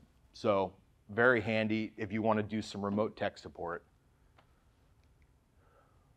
One last uh, kind of sidebar that we'll touch on that Victron offers is they offer a toolkit app. Now the toolkit app is handy if you have to do that troubleshooting. What it gives you is it gives you the ability to go through and select a number of different uh, components. From there, you can select the different uh, lighted codes that the component might give you. So for us, we'll see with eight LEDs on the front of the inverter, a number of different lighted codes. This can go in and help you decipher what that code actually means. So this is a really handy app to have. If somebody calls up and says, yeah, my inverter's acting funny, I've got these lights flashing or these lights solid, it then allows you to go through, decipher that code, and it gives some explanation to sort of continue to troubleshoot and diagnose the problem. Um, short of that, there, there's some cable calculation tools in there, um, but we really use it just for the troubleshooting. Yeah, I think we see we see people call in with light questions on the solar charge controllers more. You know, if you sell someone a Victron solar charge controller, they do the wiring themselves. They wire all their panels up together. Whoops, I wired them all in series you'll get light codes flashing on the solar charge controller that indicate PV high voltage or over voltage. That's when we get the phone call and we can pull out this app because the lights will blink a specific color if you get over voltage, battery over voltage, PV over voltage, over, you know, over current. Actually, there's no overcurrent one. You just break the controller at that point, but um, that's what it's useful for. So that was just kind of very high level Victron components. If you guys have questions about the Victron components, we can do it now. We will kind of dive into more about wiring up these components, integrating them into a system, bus bar, but if you have any Victron related stuff, programming, that'd be a good time. All right, we'll move into sort of the next the next phase here. So um, I'll keep coming back to it. Like I said, we're, we're, we're looking to build blocks here, step by step. So, you know, we, we've talked about lithium batteries, we've talked about Battle Born, we've gone through components. Awesome. How do we how do we install them? Not only how do we install them, but how do we do it successfully, do it the right way? You know, for us, it's do it once, do it right we don't want that customer calling us in six months going, what's wrong? Why is this not working? So for us, the, the hope in this next section is to kind of go through a lot of the, the do's and don'ts of installing this equipment, making sure that we've got a good understanding that whether we go down the road of keep it simple, hey, I've got a couple batteries and a lead acid converter and just a stock solar charge controller, all right, well let's let's make that simple upgrade something you can you can tackle in a couple hours, and send the customer down the road knowing it's going to work. Or are we going to do that system overhaul to power it all? Are we going to get them full air conditioning, full CPAP, full residential fridge, and give them a multitude of charging sources? So this is going to take us down both paths. Um, we'll start with that more simple system and just kind of talk about the the primary do's and don'ts. And again, we, we, we keep coming back to those main questions, you know, and we're really going to learn the most by asking those couple probing questions. What do you want to do? do? Do you just need more usable power? Do you just need a battery that has less overall maintenance and something that's going to last you for a lot longer period of time? Do you have some special requirements? Do you travel with a pet and you want to step away from the RV for a couple hours and make sure that the pet is comfortable and safe? Do you need a CPAP to run overnight to keep you comfortable? So it's it's really just asking those questions. And so we we kind of start by proposing the, the, the simple upgrade. All right, our customer comes in, they've got two group 31 lead acid batteries. They want to replace with lithium and they don't have a need for any 120 volt you know, inverted circuits. And so that, that's kind of the starting point for us. And we say, all right, well, what, what am I looking at? Well, first and foremost, I need to know what group size battery I need. So a couple BB112s for that group 31. We go through, we check the charge profile like we talked about for the converter and the solar charge controller, and we give them that option of battery monitoring. So for me, whenever I tackle this this this question or this install with a customer, I break it down to three pretty easy questions. How much power do you need? How do you want to charge your batteries? How do you want to monitor the state of charge in your batteries? And if we ask those questions, it pretty quickly starts to map out what that system should look like. All right, well, I need two batteries. I need a replacement board for uh, a WFCO 8955 PEC. So we give them the progressive dynamics replacement, and I give them the option of a smart shunt for Bluetooth battery monitoring. So for us, it's just going through, asking those questions, qualifying the replacement parts needed, and all of a sudden we can give them a nice quote with the cost of the equipment, the cost of the batteries, and our time. And we can do that successfully each and every time for that simple upgrade. So again, we start to break it down in terms of, well, what, what is that going to look like? So for a travel trailer, all right, here we go. We've got our two batteries on the tongue that we've replaced. We've got our WFCO 8955 where we've upgraded the board.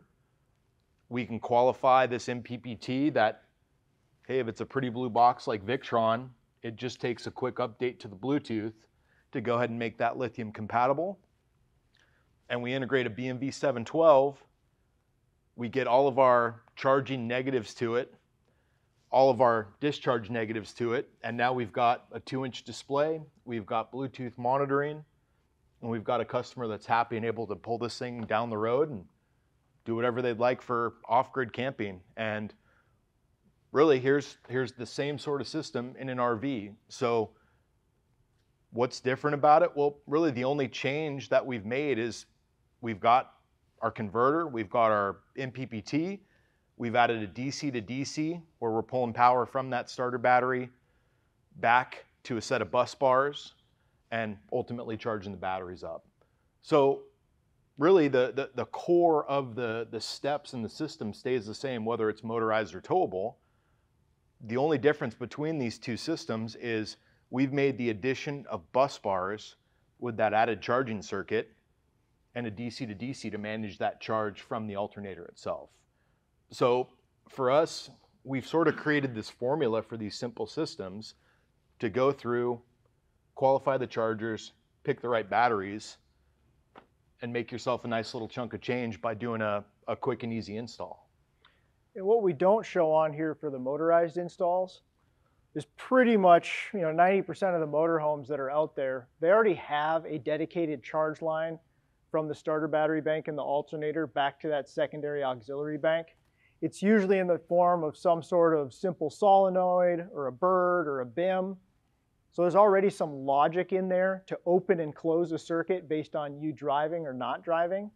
A lot of the times we'll just disable that circuit by simply pulling off the signal wire or the ignition wire off of the solenoid. Leave it there. You don't need to go through the trouble of pulling all that copper out. What you can do is use that solenoid for a bus bar. So you can tap your input and your output for your DC to DC charger off of that solenoid. Because you've already got power coming from the starter bank to the solenoid. You got power from your secondary battery bank on the other side. Just run a bypass circuit to your DC to DC charger around that solenoid and you're working. Sometimes for the bigger class A's that kind of have a, a dual wire solenoid where it's a dual purpose where it will get an ignition signal to charge your auxiliary battery bank when you're driving. But if your starter batteries die, you're going to push your boost button on your dash to get some backfeed from your, your auxiliary bank to your starter battery bank. You can maintain the function of having that boost on that solenoid by just pulling the ignition wire leaving the signal wire on that solenoid so you can still boost in an emergency. The lithium shouldn't be used to crank, but if you press and hold that momentary switch or it's a time delay switch, the lithium at the higher voltage has time to charge up your lead-based starter battery bank, and then you can crank after 30, 30 to 60 seconds or so. So in a motorhome, it's kind of, you got to look at what you already have, disable, make the decision to put in a DC to DC charger, or you can replace that solenoid system with the Precision Circuits Lithium Battery Isolation Manager. This is simply a sliding relay with logic in it that makes the decision to charge or not to charge based on time. So unlike a standard continuous duty solenoid, this has a timer in it. So if you give this ignition, it will charge for 15 minutes and then open the circuit for 20 minutes, almost giving like an alternator cool down period. So that's how it manages overworking an alternator is by putting in the time there. You can also run the signal wire to here for that momentary boost. So again, you got to look at the motorhome, figure out what's going to be best for the customer and their needs. Do I put in the DC to DC charger to get that regulated charge circuit at a programmable voltage? Or do I replace the solenoid with a lithium battery isolation manager? This is more of a retrofit in my mind. You'll never get a full charge off of this thing. Once this sees 13.3 volts on the lithium battery bank, it will no longer charge. This will allow you to get up to about a 90% stated charge on your lithium bank, no more. It will not charge it any higher. The DC to DC charger option, you can program it. You know exactly what the current is, so you know exactly what sort of charge you're getting when you're driving down the road. Sometimes you might need to use multiples of these to achieve that charge rate that you're looking for. But again, weigh the pros and cons. What does the customer need while they're driving? What sort of charge rate do you recommend for that DC to DC charger? What sort of capacity? Because So- you can get Yeah, 20, 40, 60, 80 amps. I have a 160 amp alternator Mhm. on a 350 Cummins. So there's it's it's different. You know, you have to look at what the alternator size is. Some DC to DC charger manufacturers say in their manual not to exceed 50% of the max rate on the alternator. Okay. I think that's too much. I don't want to be using 50% of what that alternator can output. I don't want someone on the side of the road having to change out an alternator because they've overworked it. I stick to about 25 to 30% of the max rated of the alternator.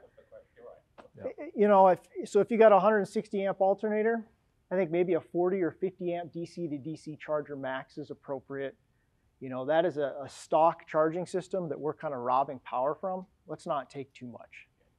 I think Victron says 30% of the alternator's output. I think Sterling is uh, uh, 50% in their verbiage. So you'll get different companies give you different, Mhm. uh, you know, conservative or less conservative options. But I, I think what Brandon's saying, yeah, is is let's let's play it safe.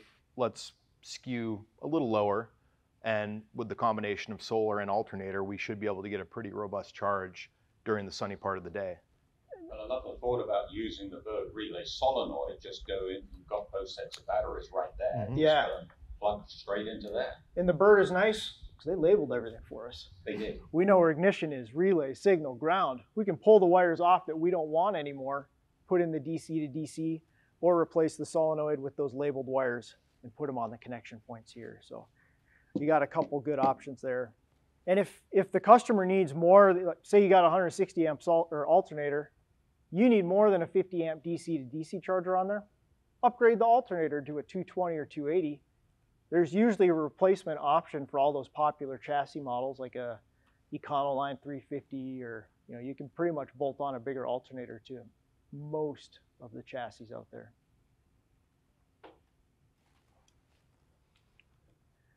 So this slide kind of went through the difference of you know what's the difference between a simple upgrade in a motorhome and a travel trailer.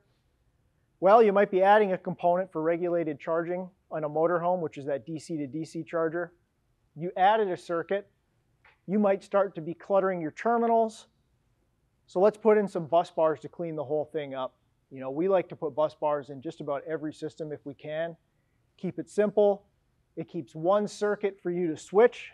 So you've got a master service disconnect switch where if you're doing maintenance, you're shutting down the system for storage. It's one circuit to kill the whole thing. You're shutting off the bus bars. Perhaps you route solar around the bus bars so the solar can always charge the batteries if necessary, but a couple ways to do it. So we take it from that simple to the next step, the the the full system overhaul. And so we we get a lot of different scenarios that customers throw to us. I want to run my AC all day. I need to run that CPAP. I just want to install some magic batteries that do everything. Okay. Well, let's let's envision that. You know, and again, this is this is asking that that question. What are your expectations? What do you want to run? What do you need to run? And we'll kind of go through a little example here of all right, well maybe this is what the customer wants to ask or what they want to run. So, you know, I, I think we we have put this list together from experience in what we've learned to ask the customer and what they've asked us in return. So when we're talking these big systems, I think the first thing we always have to ask is, are you running the air conditioner? And if so, is it for any significant amount of time? Do we just need to cool the space for half an hour or an hour? Or is this going to run for all day? Uh, do we need to run more than one air conditioner? You know, are we talking a, a 30 or 50 amp service here? what else is in the RV that we need to consider? You know, are you a cook? Do you run an air fryer? Do you run an Instapot? Do you run any and all for your day to day? Do you want every outlet electrified from the inverter? Do you want to rely on solar as one of those primary charging sources? So we go through and we ask these questions and we get we get some responses from folks and they say, "Yeah, I want to run an air conditioner." I've got a requirement that I work in the RV, so I need eight hours of air conditioning. I need to run a computer. I need my fridge. So it's starting to put together that energy assessment, and we start to crunch these numbers so that we can build this system out. So it's essentially going through and helping answer, you know, by going through and answering all these questions, we're starting to envision and build that system. And we like to do so not so much by just saying, well, I think I think this component needs this much power. We'll actually list it out. All right, we've got an eight hour runtime, we've got an air conditioner and a fridge. And so in our example, all right, well, here's, here's what we've got. We've got a 30 amp travel trailer like we had in a previous slide. We want to be able to run that air conditioner and 12 volt fridge for eight hours with no charge input. This needs to be an eight hour autonomous period. And here's essentially what we're dealing with. So we're dealing with that 1300 watt average draw on the air conditioner. We're talking about a 12 volt fridge that pulls about four amps and now we can start to build this energy audit. And we can say, okay, well, we need, we're, we know that we're going to need somewhere in the ballpark of about 11 kilowatts of stored energy for this eight hour period. Now, for us, we know that there's some additional specifics we have to be aware of. Most modern inverters are going to have a low voltage shutoff at about 15% remaining capacity in the battery bank, give or take. So we build in this additional 15% buffer for inverter shutdown and for some of those maybe unknown draws or parasitic draws that the customer's not accounting for. So we take that near 11 kW, we add 15%, and now all of a sudden we're just over 12 and a half kW of required battery bank. And we can now start to lay out what that looks like in terms of a battery bank. So what makes more, more sense? Do we install 12 of these? Do we install four of these? You know, we're, if we're thinking about what's best for the customer, well, it's probably going to be easier to install four of these if we have the space because we're going to need less interconnects for the batteries, less copper, and it should make for a nice clean system. So all of a sudden, our system's starting to take shape. All right, I know how much power I need. I know what the battery bank needs to look like. And by going with this, we're going to have just under 13 kW of stored capacity. So that checks the box for what they need. We then have to ask, all right, well, what's the peak wattage? How much do we need to size for the inverter? And so we know that the highest draw is going to be 1300 watts for that AC. So could we get away with a 2000 volt amp inverter? Possibly. You know, we know that that's going to be able to provide 1600 watts at normal operating temperatures.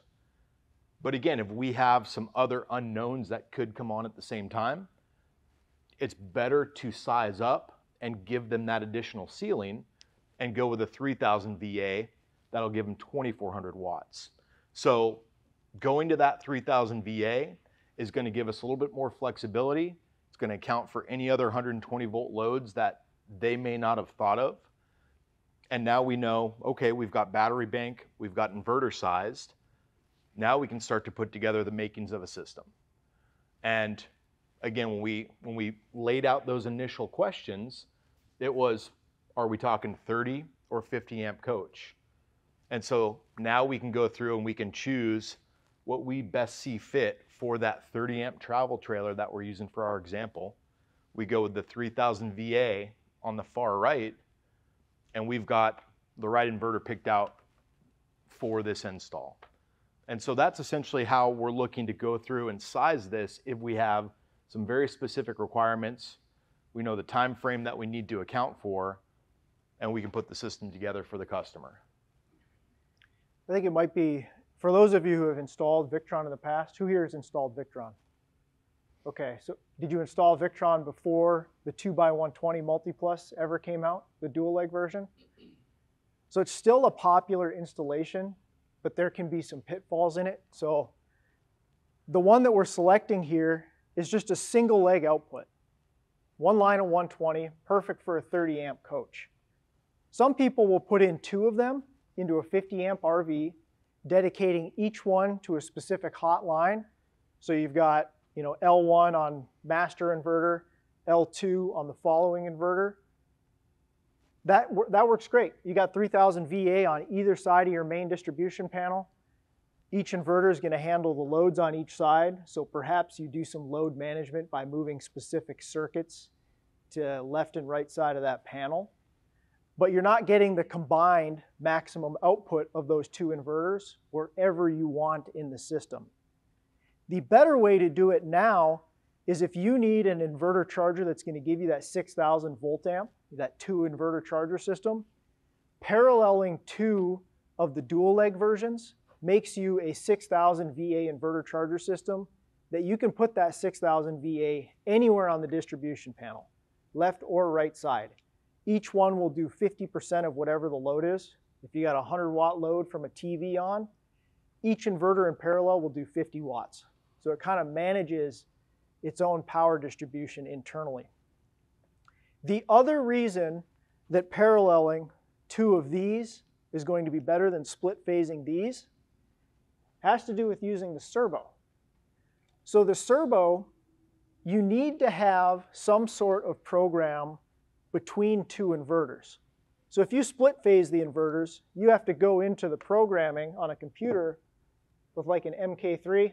This is just an adapter to hook up the inverters to your computer to program them.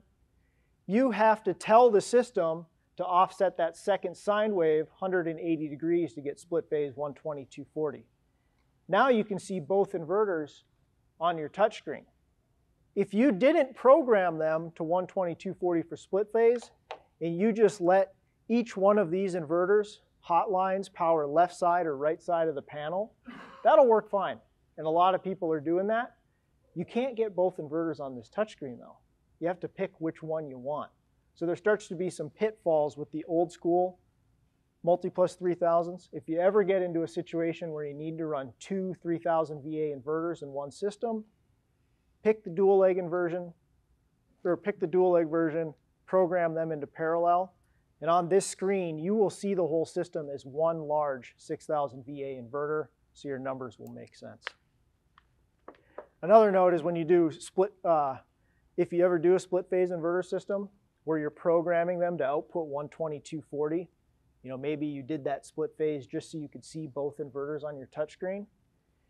That system expects to see out of phase sine waves on those two hot legs. You go plug into a 120, 15, or 30 amp circuit, and you're giving the same phase 120 to both inverters, what do you think it's going to do? Nothing. You're not going to pass through that power. You're just going to stay inverting. You know, you're not utilizing that shore power. There is a hack where you can go in and program them so only the master inverter will charge and pass through, but that second inverter is always going to invert. So you could actually be charging at the same rate you're discharging running an air conditioner. They finally fixed that problem. You get two of the two legs, parallel them. Each one does 50% and it'll work in just about every situation. So now that we've selected our battery bank based on the consumption that we expect to have over eight hours, we've picked the inverter that we need for the coach and the power requirement, which is one 3000 VA inverter charger how are we going to charge it when we're boondocking? Solar charging, if they want to boondock and they want to run that air conditioner long term and they don't expect to be at hookups for a while, fill the roof. You can never go wrong with too much solar on the roof. Now, if this is a, a pre-wired factory solar system on there, make sure that the wire that's coming down from the roof is rated for the right current for what you're going to put up there or put panels in series so you're minimizing the current that's going through that factory system. But if they want a boondock, they want to run the AC, and solar's their primary charging source, fill the roof. Maybe even give them some portable panels. A lot of the time, for what the expectations of our customers want, you can't get enough solar on the roof. It's just the way it is. So that's when you start going to, you know, DC to DC charger driving down the road for a travel trailer high energy alternator regulation for a motorhome when you need to offset whatever you can't charge from solar when you're driving from place to place. So fill the roof if you can. If this is kind of more of a simple system and the customer just wants to throw in two batteries, at least get them 200 watts of solar per battery. You know, if you run the math on it, this is roughly a 1200 watt hour battery. In the summer, you get six hours of good sun, 1200 watt hours divided by six hours, you're left with 200 watts. That's kind of why it's our minimum recommendation. If someone's up north and they got a poor solar angle or the Pacific Northwest where it's not always sunny, it's cloudy more than that, maybe three to 400 watts is better than that. But down here in Florida where you're not, you know, you've got a pretty good sun angle relatively throughout the whole year, 200, 250 watts minimum, you're probably pretty good. So once you start figuring out how much solar you're going to put on the roof or how much you can put on the roof, now you got to start sizing your solar charge controller based on the wattage and the voltage of the battery bank.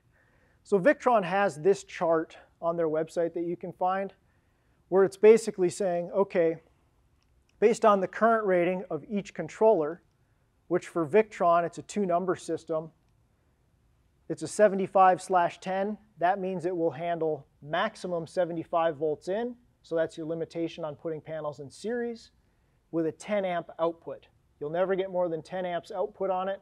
That's a direct translation to how many watts you can put on the roof to effectively charge with this controller. So the most common one on the market is going to be the 30 amp solar charge controller.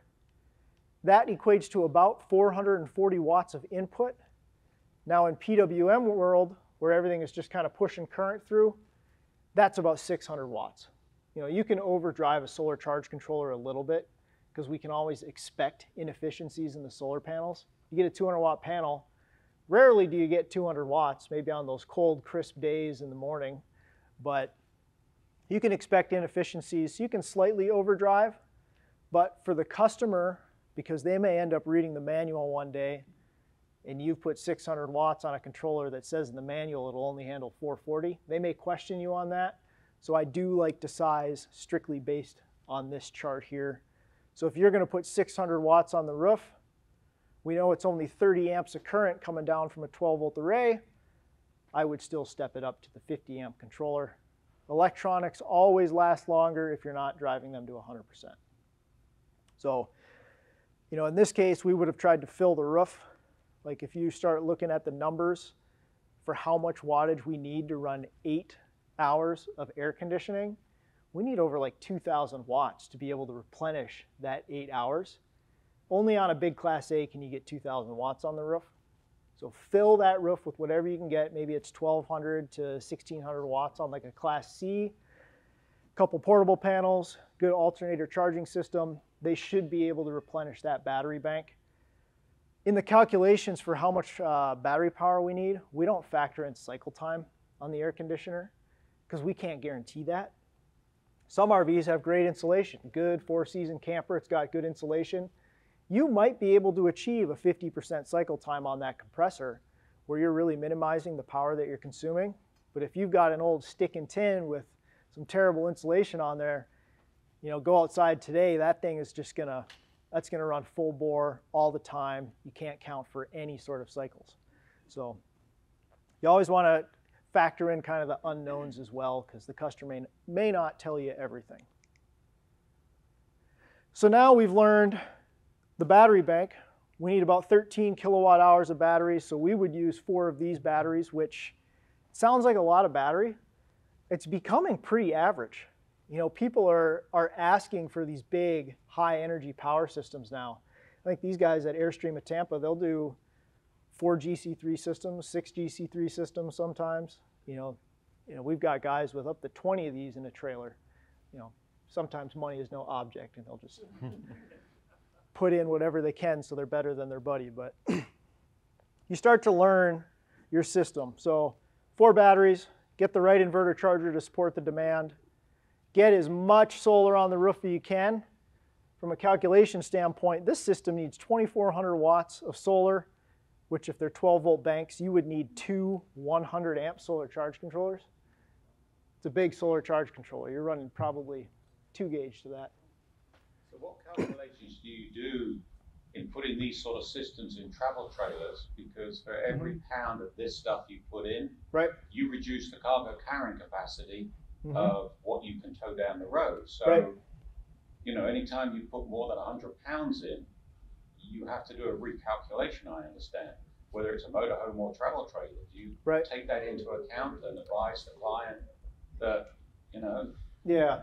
you know, Granny can't come with you now because, you know, I've got too much solar on the roof. From our standpoint, we will advise the customer of that, you know, advise them of the weight that they're looking at for the system that they want. They may change what they ask for based on that because we can't know every RV in every RV manufacturer. You know, you at the dealer level, you can look into that a little bit more and make recommendations based on the, the travel trailer that they have. We can advise from our side to take a look at that. You may want to consider a smaller system based on the size travel trailer, RV, cargo capacity, but that's definitely something to take into consideration.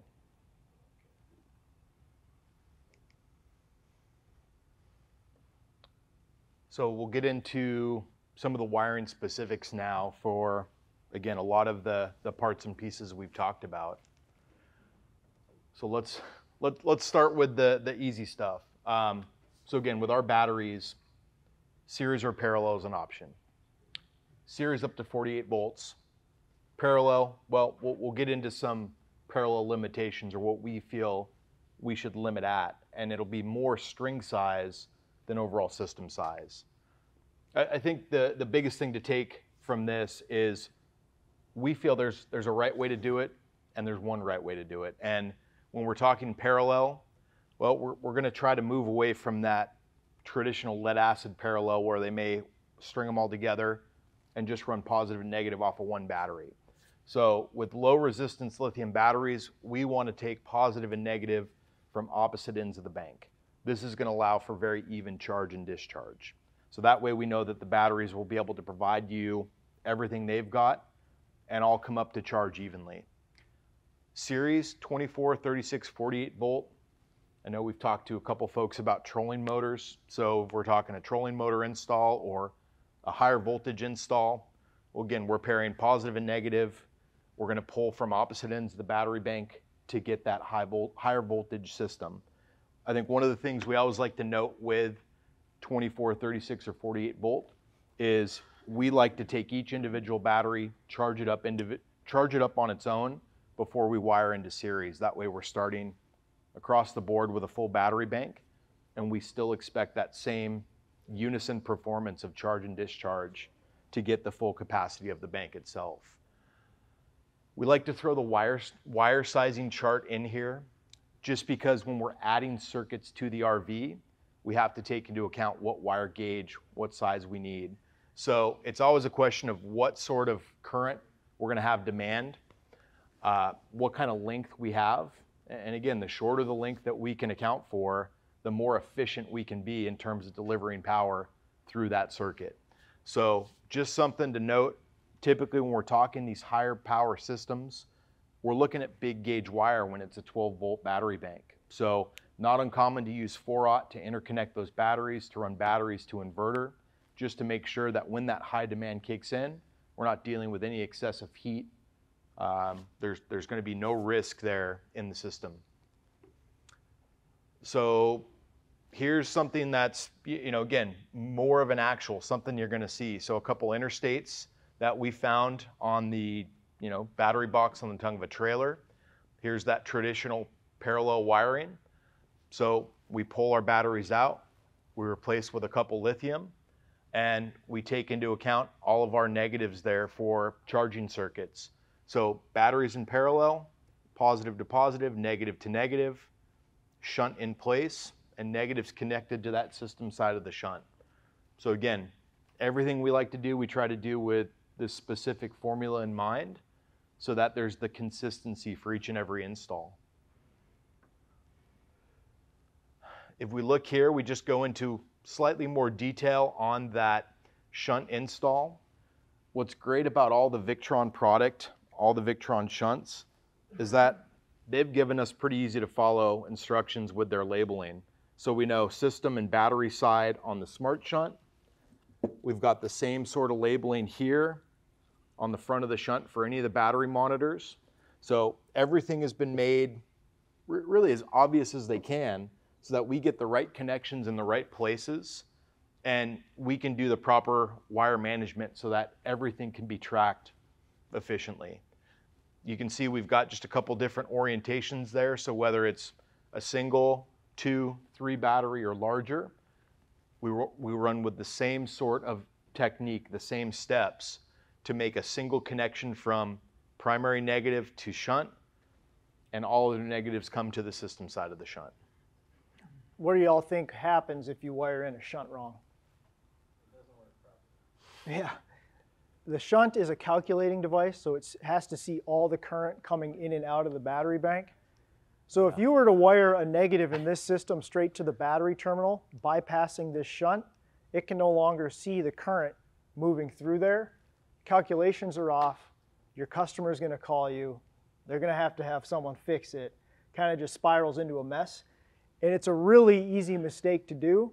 You just have to make sure that all negatives land on that system side of the shunt so that the shunt can accurately see all charge and discharge going to the bank. So Eric had mentioned that we kind of get to a maximum parallel at a specific point. You know, actually that was a different slide. So this is just kind of using the, sh the shunts here. You know, we don't want to clutter our terminals with a ton of wires. The more wires you put on a single terminal, the greater chance you have of those wires actually coming loose as you're bouncing down the road, or you might not good get good conductivity through all of those uh, cable lugs to the terminal. So this is why we like to start using bus bars. Give every circuit its own stud or double up some small circuits on studs. Make it clean. By doing it this way, you can have one switch that shuts down the whole system. The shunt you know is going to be watching all of the current from all your circuits because all your negative cables are up on your bus bar. So here's the excessive parallel in the battery banks. You know, if, if someone decided that using 12 of this battery, based on limitations on where they can put it, is better than four of these batteries, you probably don't want to just string all of these in a row of 12, hook up positive on one end, negative on the other. That's probably adding too much resistance to get to all the batteries in the bank. So at a certain point, Six has always been my limitation. You know, I would never do more than six batteries in a row, positive, negative, on either end. At that point, if you're more than six, say you're at eight, not seven, seven's a prime number, it's hard to split that up. Say you're at eight batteries, I'd split them to four and four, run each battery bank with a positive and negative off either side, run it up to a battery bus bar. You've then paralleled two sub banks at a bus bar from those bus bars, you can go to a fuse and a switch or a shunt on the negative to run up to a system bus bar. So that's just kind of a best practice so you don't end up with these long strings of batteries where the middle batteries aren't really getting much love for charge and discharge. We see that a lot. I've got a guy with a system with 20 100 amp hour batteries in parallel, and he ended up running uh, five different banks of 400 amp hours, all to like a Lynx distributor, which is just a fancy bus bar. System works great. He took the proper precaution. He's got appropriate size gauge cable, all of his sub banks going to a bus bar. No one would ever think to put 20 batteries into a 12 volt system. We amp clamp it all the time. It's working great. So. So if we get into a heated battery install, we also want to make sure that the heat is enabled for the customer. We've got three different options to heat enable batteries. So you can see our GC2 here is one of the heated versions. Really the only thing that distinguishes the heated battery from a non is this four millimeter threaded insert. This is our heat enable circuit. So a few different ways that we can activate the heat and the heat strip in this battery itself. Well, the, the easiest way, and all the heat wiring will come with the battery, is we take the 18 gauge couple inch wire, we go from positive to heat enable, and that activates the heat circuit and the internal thermistor. So if we run it that way, we can do it to where each and every heated battery is going to kick on that heat when the thermistor hits 35 degrees. So that's, that's the automatic way. That's the set it and forget it way. And really, it just allows that heated battery to activate whenever it senses that the temperature is cold enough. So that's, that's one way. The, the second way we can do it is we can continue to do that, set it and forget it, and we can jump from battery to battery to battery so that they're essentially all linked together and they can all trigger basically, well, more or less at the same time in a parallel string. Again, it's all going to be based on internal temperature of the battery. So we may see those come on and come off at slightly different times, but we can use just a single heat enable and then power that to corresponding batteries. What you'll see as kind of the, the overarching theme here is that we want the primary positive battery in that string to be the initial heat enable battery in the, in the string itself. So that way we're getting the highest voltage battery to basically provide that power to each and every battery down the string. The third and final option that we've got to enable this is we give an optional switch. This is my preference. And, and reason being is that we're essentially drawing power from the battery to, to heat it. So there are scenarios where, yeah, the temperature might be cold enough, but we may not have any active charging source feeding power to the battery. So my thought is, well, for overnight hours, there's no reason for this heat to come on. There's no active charge typically if we're boondocking. We're not driving, we're not harvesting solar. So if we install that switch, which will run to the positive and to the heat enable circuit, the customer then has the option to turn the heat on and off, just like you would the lights at the end of the day. So again, a number of different ways to integrate it. It's all strategy at that point. How involved does the customer want to be in turning that heat on and off? Or do they just want something where they can set it, forget it, and the off chance that they get into those freezing temps, they've got batteries that will automatically heat themselves and they don't have to think about when the charge comes in or when it doesn't. Except in storage.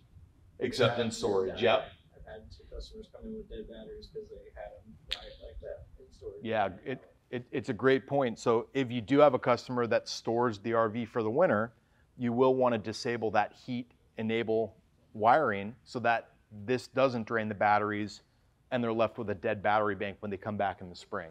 So great point.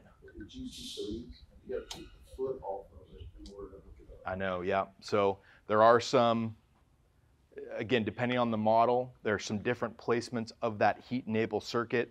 You know, typically on our more traditional batteries, they're going to be right here on the top, on the GC2, right here in the middle. But on the GC3, you do have to remove that top terminal cover, and then you can access the four millimeter screw. Oh, you gotta take the foot off. Oh, I'm sorry, the foot, yes. Yeah, because it's tucked back right here. So that's kind of wiring up the batteries, you know, whether we're going to parallel, series connect the batteries, how do we integrate the heat enable into a series or parallel situation, whether it's bus bars or not. Now we start looking at kind of more general practices for installing all of these components that we have on the table.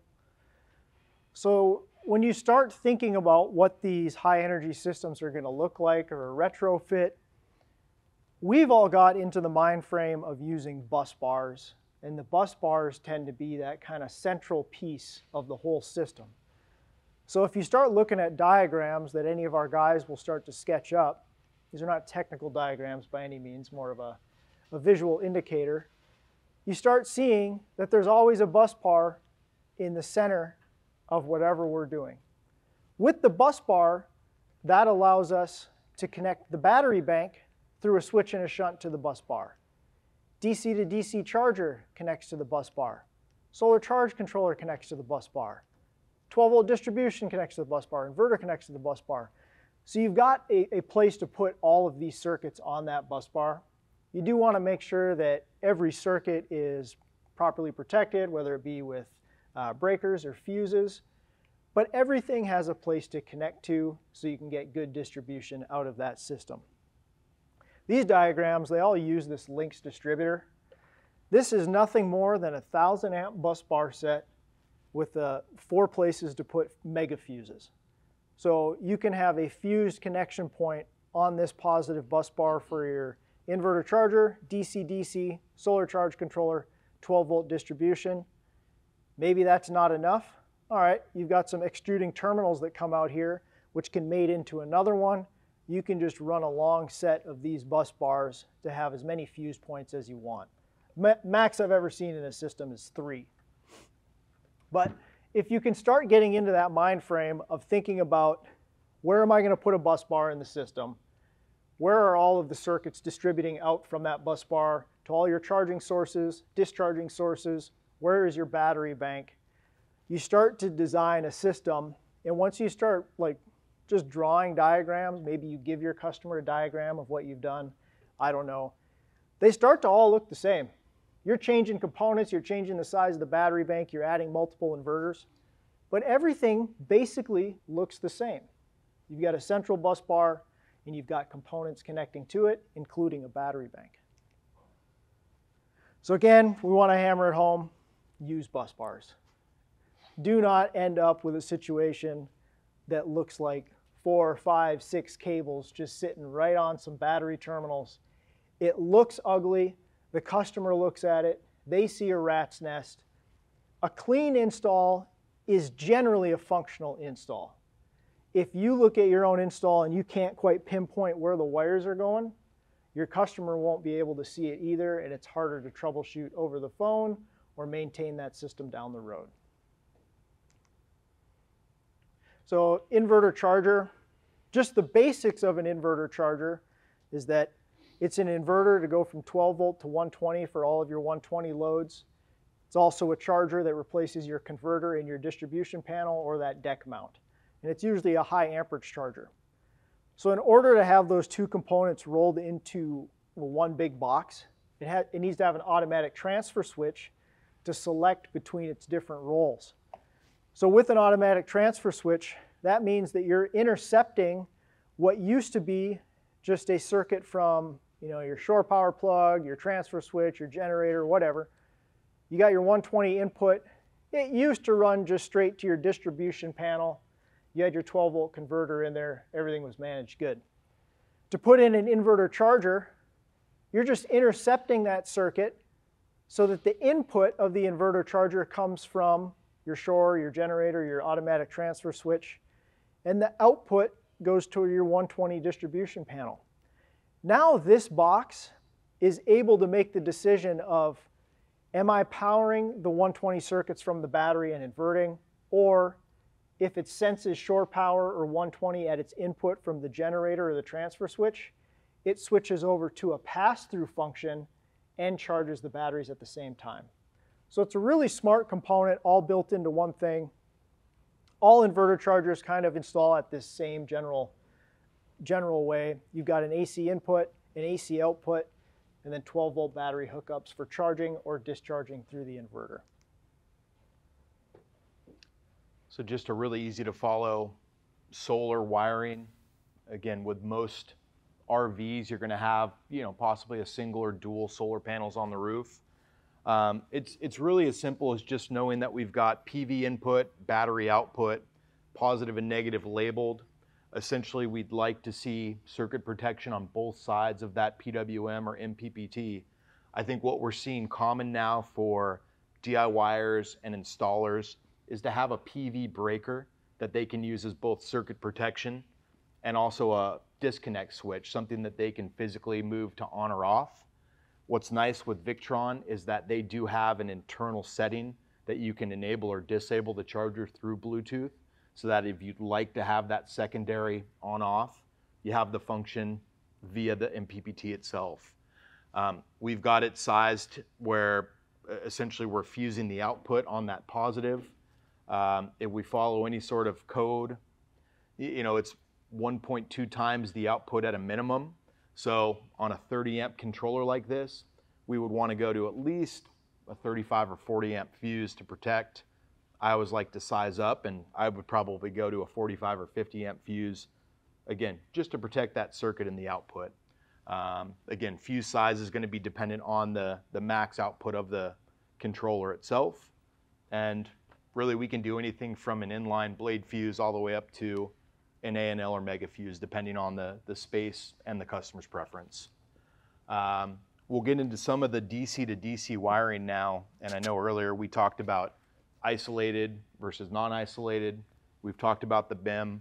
So let's let's make sure we're all understanding the kind of charging and wiring basics of these.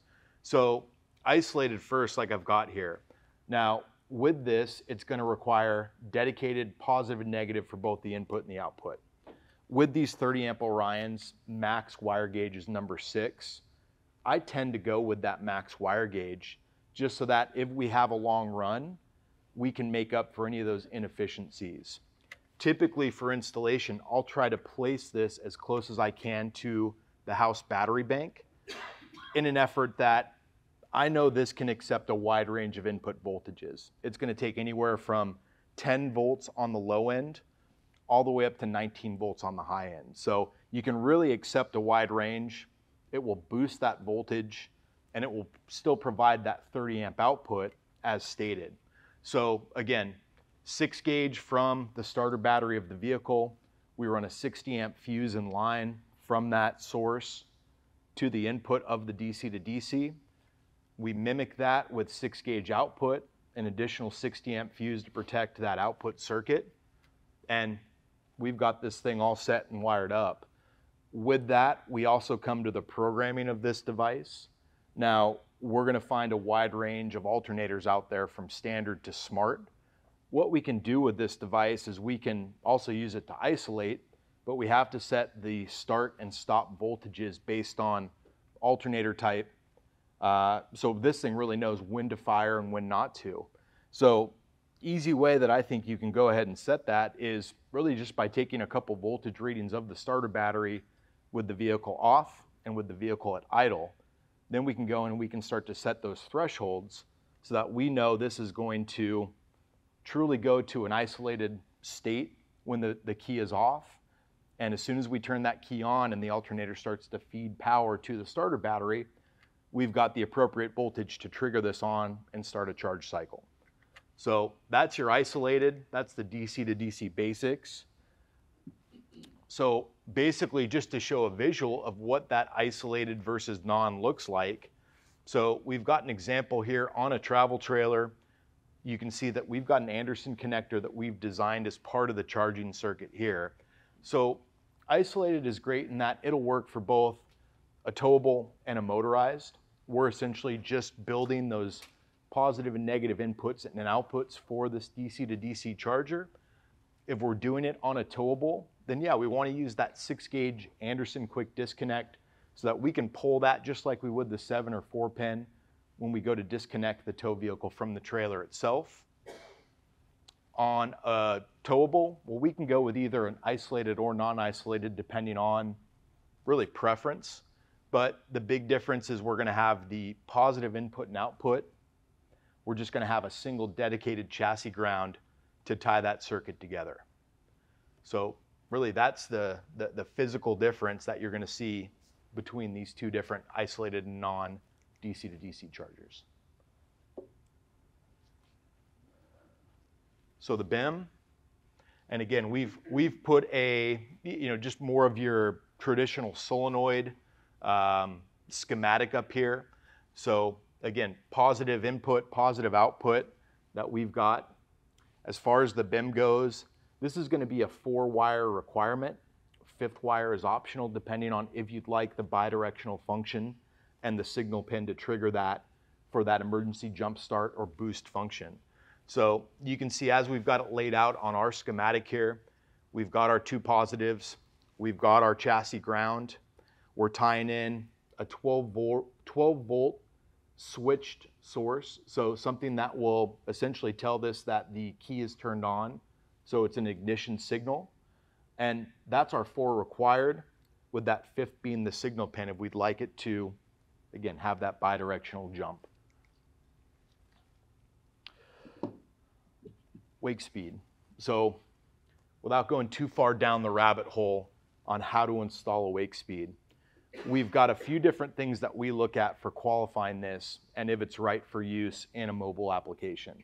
So the first thing I always look at with a customer is, are they using a battery that qualifies with the Wakespeed? We do some very specific testing on the batteries themselves. The biggest thing for us is load dump. So it's essentially what happens if for some reason a battery shuts down and we aren't able to trigger and tell the alternator that that shutdown has happened. So we essentially want there to be some protection in the system against load dump. So we've got a qualified list of battery brands that we know will work with Wakespeed in different voltage uh, orientations. So first and foremost is qualify the batteries. Second is we need to qualify the alternator in the customer's vehicle or qualify that a second alternator is going to work. And so what we really need to look for is external regulation and the ability to tap into stator and field, field sensing on the alternator itself. From there, we pick a harness, and really there's only a couple harnesses available for Wakespeed. It's either a P or an N type alternator.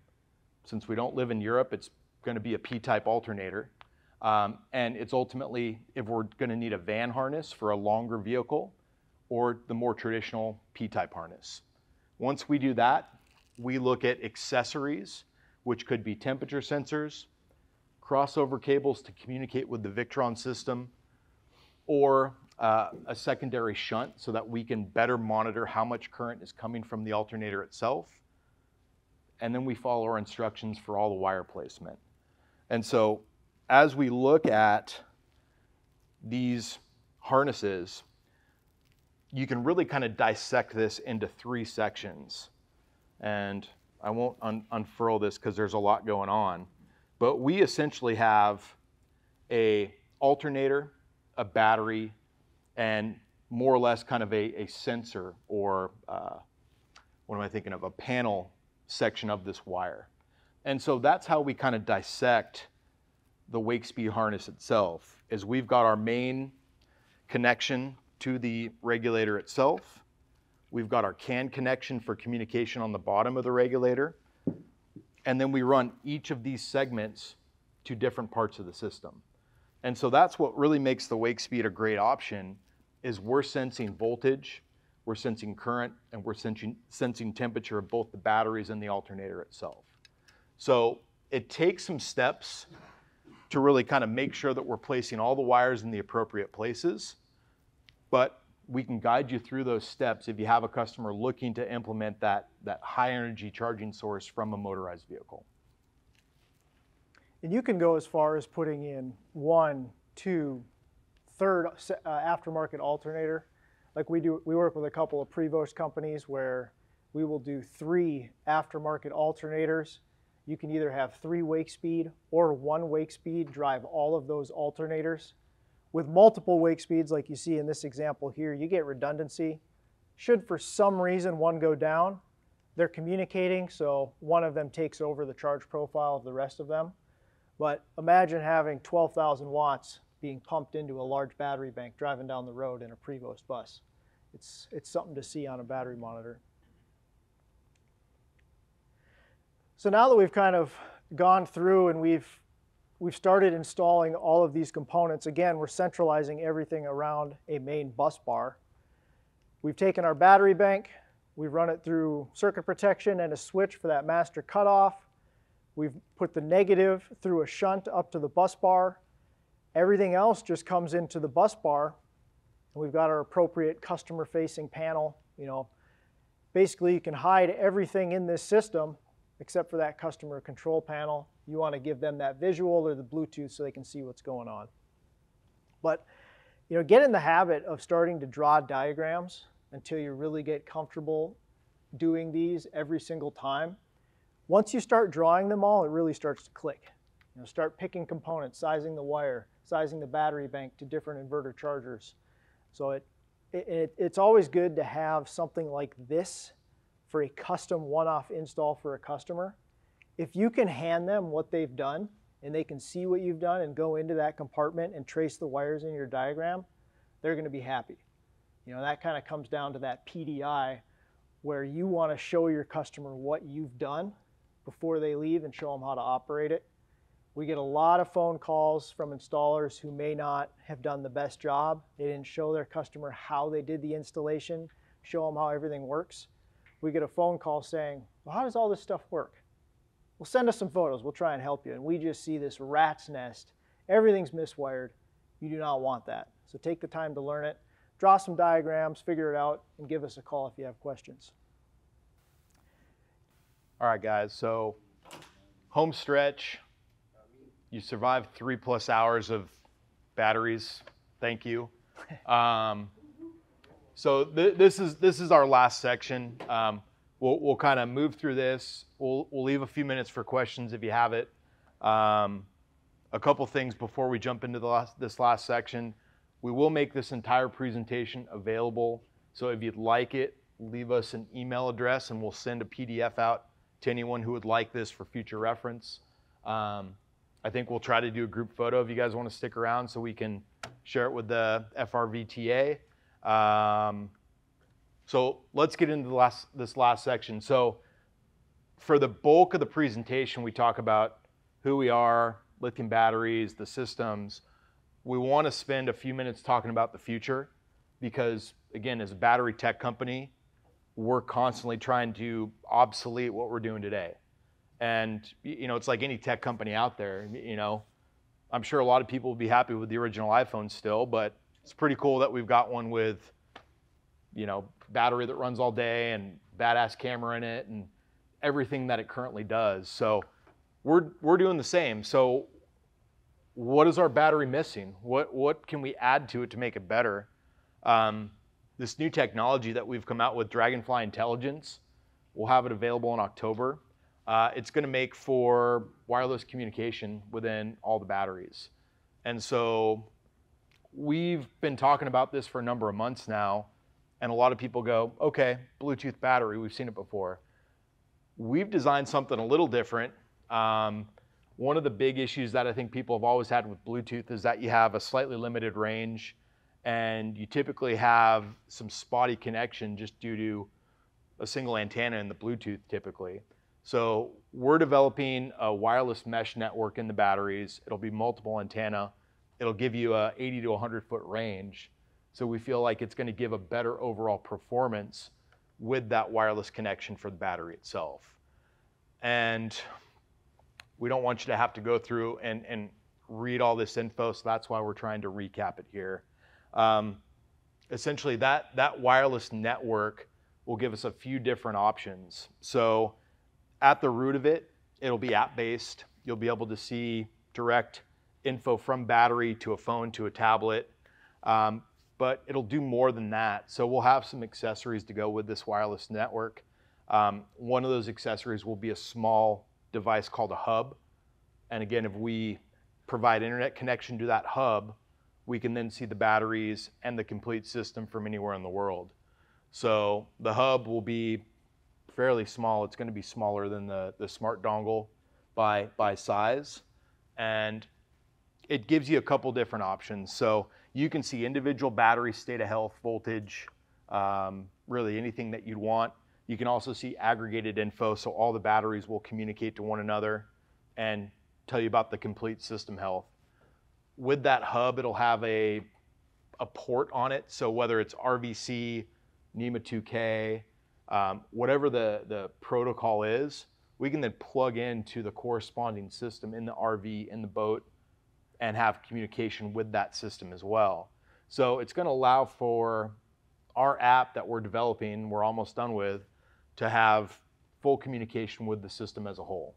So we're really excited about that. It eliminates that battery monitor from the system itself and gives the customer that much further detail and data about the batteries that they didn't have before. It also is going to help us from a troubleshooting standpoint in pinpointing exactly where the problem is in the system if there is one. So we'll be able to see a specific battery if it's having charge or discharge issues and then direct the customer to a fix. So integration, again, we'll be able to, to talk to Victron, we'll be able to tap into Wakespeed, uh, really anything that's using a true RVC protocol. You know, our hope is that it's going to be the Spyder system, Firefly, yes, uh, Silverleaf. So any of those popular, um, you know, whole RV monitoring systems, uh, NMEA 2K, which we see as kind of the the standard that we see in a lot of sailboats and marine vessels, um, VE Bus, VE Can. So again, we're, we're working to validate all these different communication protocols and bring this online when we launch these batteries here in a couple months. We hope that you can, everyone can stop programming too, because along with that communication, that given data to a monitoring system, you plug our hub into a Victron inverter charger, auto programming, it's done. Just integrates the whole thing for you. So eventually we want to make the whole thing a lot easier. So just kind of a sneak peek of the app itself. Um, again, like like with any app, it you know it should be pretty slick. What we're going to do for future batteries is we'll have a laser etch QR code on every one of these smart batteries that's produced. You take your app, you take a photo of each QR code in the system, and you start to assign it placement in the system itself. So that's how it starts to build your battery bank in the app. You assign it either parallel or series configuration, and it then starts to give you state of health, state of charge. Um, you can get push notifications that if you do have an issue, it's going to alert you to that, just like you'd get a text message. We want it to be easy for setup, easy for the customer to understand, and better yet, easy for all of us to decipher and know what's going on in that system itself. So just a couple more screenshots. Everything will be color coded to the individual batteries to show that state of health, state of charge.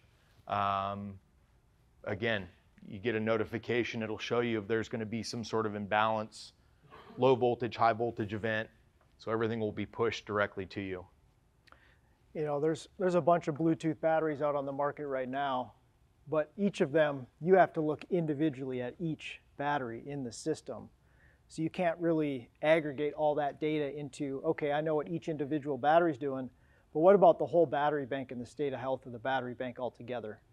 So with that hub, you know, one small hub about the size of this, it will talk to all the batteries in the system, all your accessories in the system, and it will give you a snapshot of the whole system as a whole with the option to dive in deeper to look at each battery individually. So we're trying to give you the whole picture of the whole system with our app, not just each individual battery like everyone else. So along with that hub, which is going to be your communication center for the, the Dragonfly intelligence system, we're going to have a couple accessories to go along with it. One of them is the ION, digital inputs and outputs. So now we have the ability to run relays, trigger auto gen starts, flood sensors, you know, signaling lights and noise buzzers. There's actually an alarm built into this ion, so we can pre-program uh, set point alarms.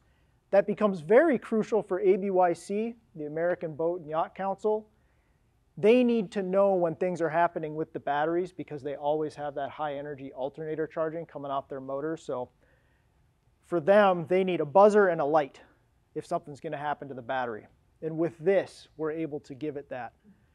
But with the Ion, I'm excited to start doing you know, auto generator starts, auto chassis starts so you can start your vehicle to have it start charging the batteries if you don't have a generator.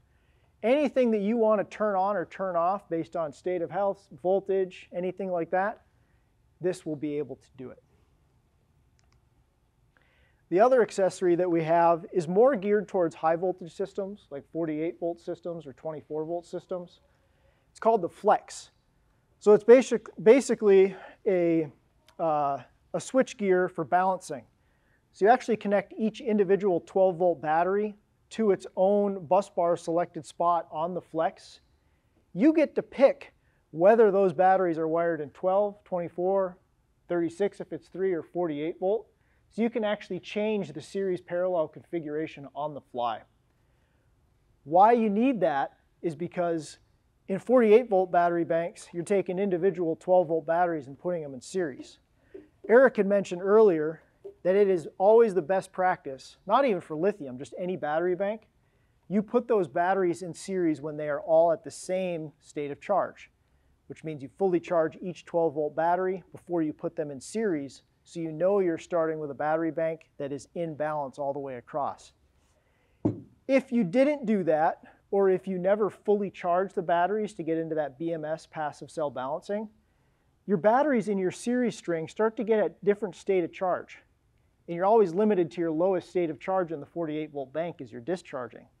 You got 100% battery and a 50% battery and 24 volts. As you discharge it, when the lower battery hits low voltage disconnect, battery bank shuts off. You've got an imbalance in the batteries that's hard to resolve unless you disconnect them or put on isolated 12 volt chargers. This changes it.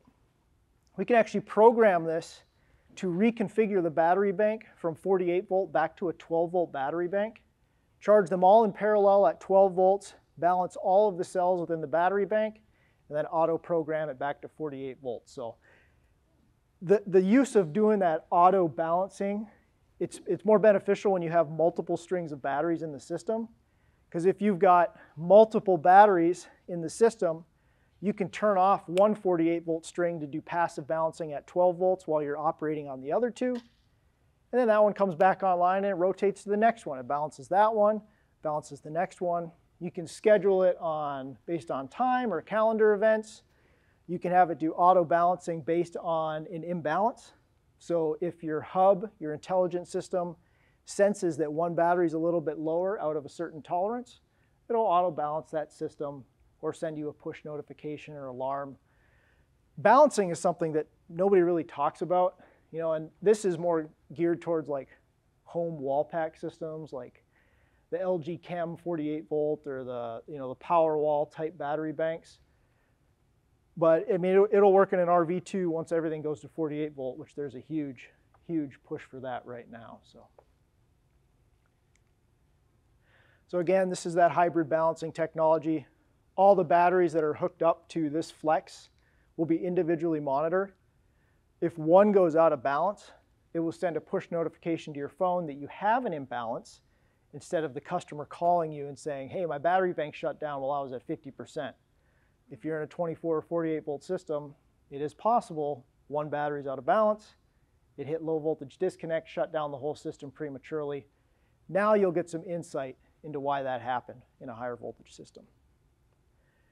So this flex is a critical component for us to build a home wall pack. Now I know we're here talking about RVs and everything, but we're gonna have a 48 volt 100 amp hour wall pack, five kilowatt hours. You could put this in an RV, absolutely. It's just a larger box and it may take a specific compartment to fit so. But this is gonna be a 48 volt 100 amp hour battery bank that's using that flex to deal with the 48 volt balancing issues that we see out on the market right now. So that's something that we have never done. We've never really stepped into that kind of home wall pack battery backup residential market. Now we're getting into that and we'll be releasing this later this year. Fully configurable, you can stack them all. Um, we're going to integrate that communication to work with Schneider, Victron, Solar converter chargers, if you've heard of them. Um, again, it's all that pre-programming. So once we just connect an ethernet cable between the battery and the inverter, pre-programs everything. You can see everything on one communication device. Be a good system. So here is uh, just how you wire up that home wall pack. Again, we're using that flex that allows for that hybrid balancing. So you need a 12 volt charge port. So we have an additional 12 volt bus on the bottom. So you can operate at 48 volt between 48 and ground or charge for the balancing. And we will provide that 12 volt charger. So when things do go out of balance at 48 volt, maybe once a year or so, it'll do that automatic 12 volt passive balancing. And so really evolution of batteries. So this is kind of where we're at now, moving through flooded lead acid, AGM, lithium starting to take that bigger presence in the RV market. We'll have our smart lithium batteries out this October. And again, the, the further goal for us to try and obsolete current technology is moving towards a solid state cell. Being a US battery tech company, we've got a pilot line that's built to start building our own anode and cathodes here in house in the US. Um, as more mines get established in Nevada, we'll start to be able to take raw material out of the ground, process the raw material, and ultimately bring the supply chain more vertically integrated and bring it in-house. So the end goal for us is to build a solid state cell that we're manufacturing on our own. What that ultimately means is the highest level of safety for a lithium ion battery so that we can offer, whether it be a mobile or stationary power user uh, the best experience possible with lighter weight, smaller batteries, and really the, the highest level of safety. So that for us is is sort of where we see the evolution going, and it's it's ultimately on our roadmap here over the next couple years to have this technology out on the market for all of you to sell. Um, short of that, we've got our contact info up here. Like I said, if you'd like a copy of this presentation, we're happy to email it to you so that you can have future reference of it. And uh, I think with any remaining time that we have left, if you have any questions, we're, we're certainly happy to answer them. Um, so feel free to, to let us know.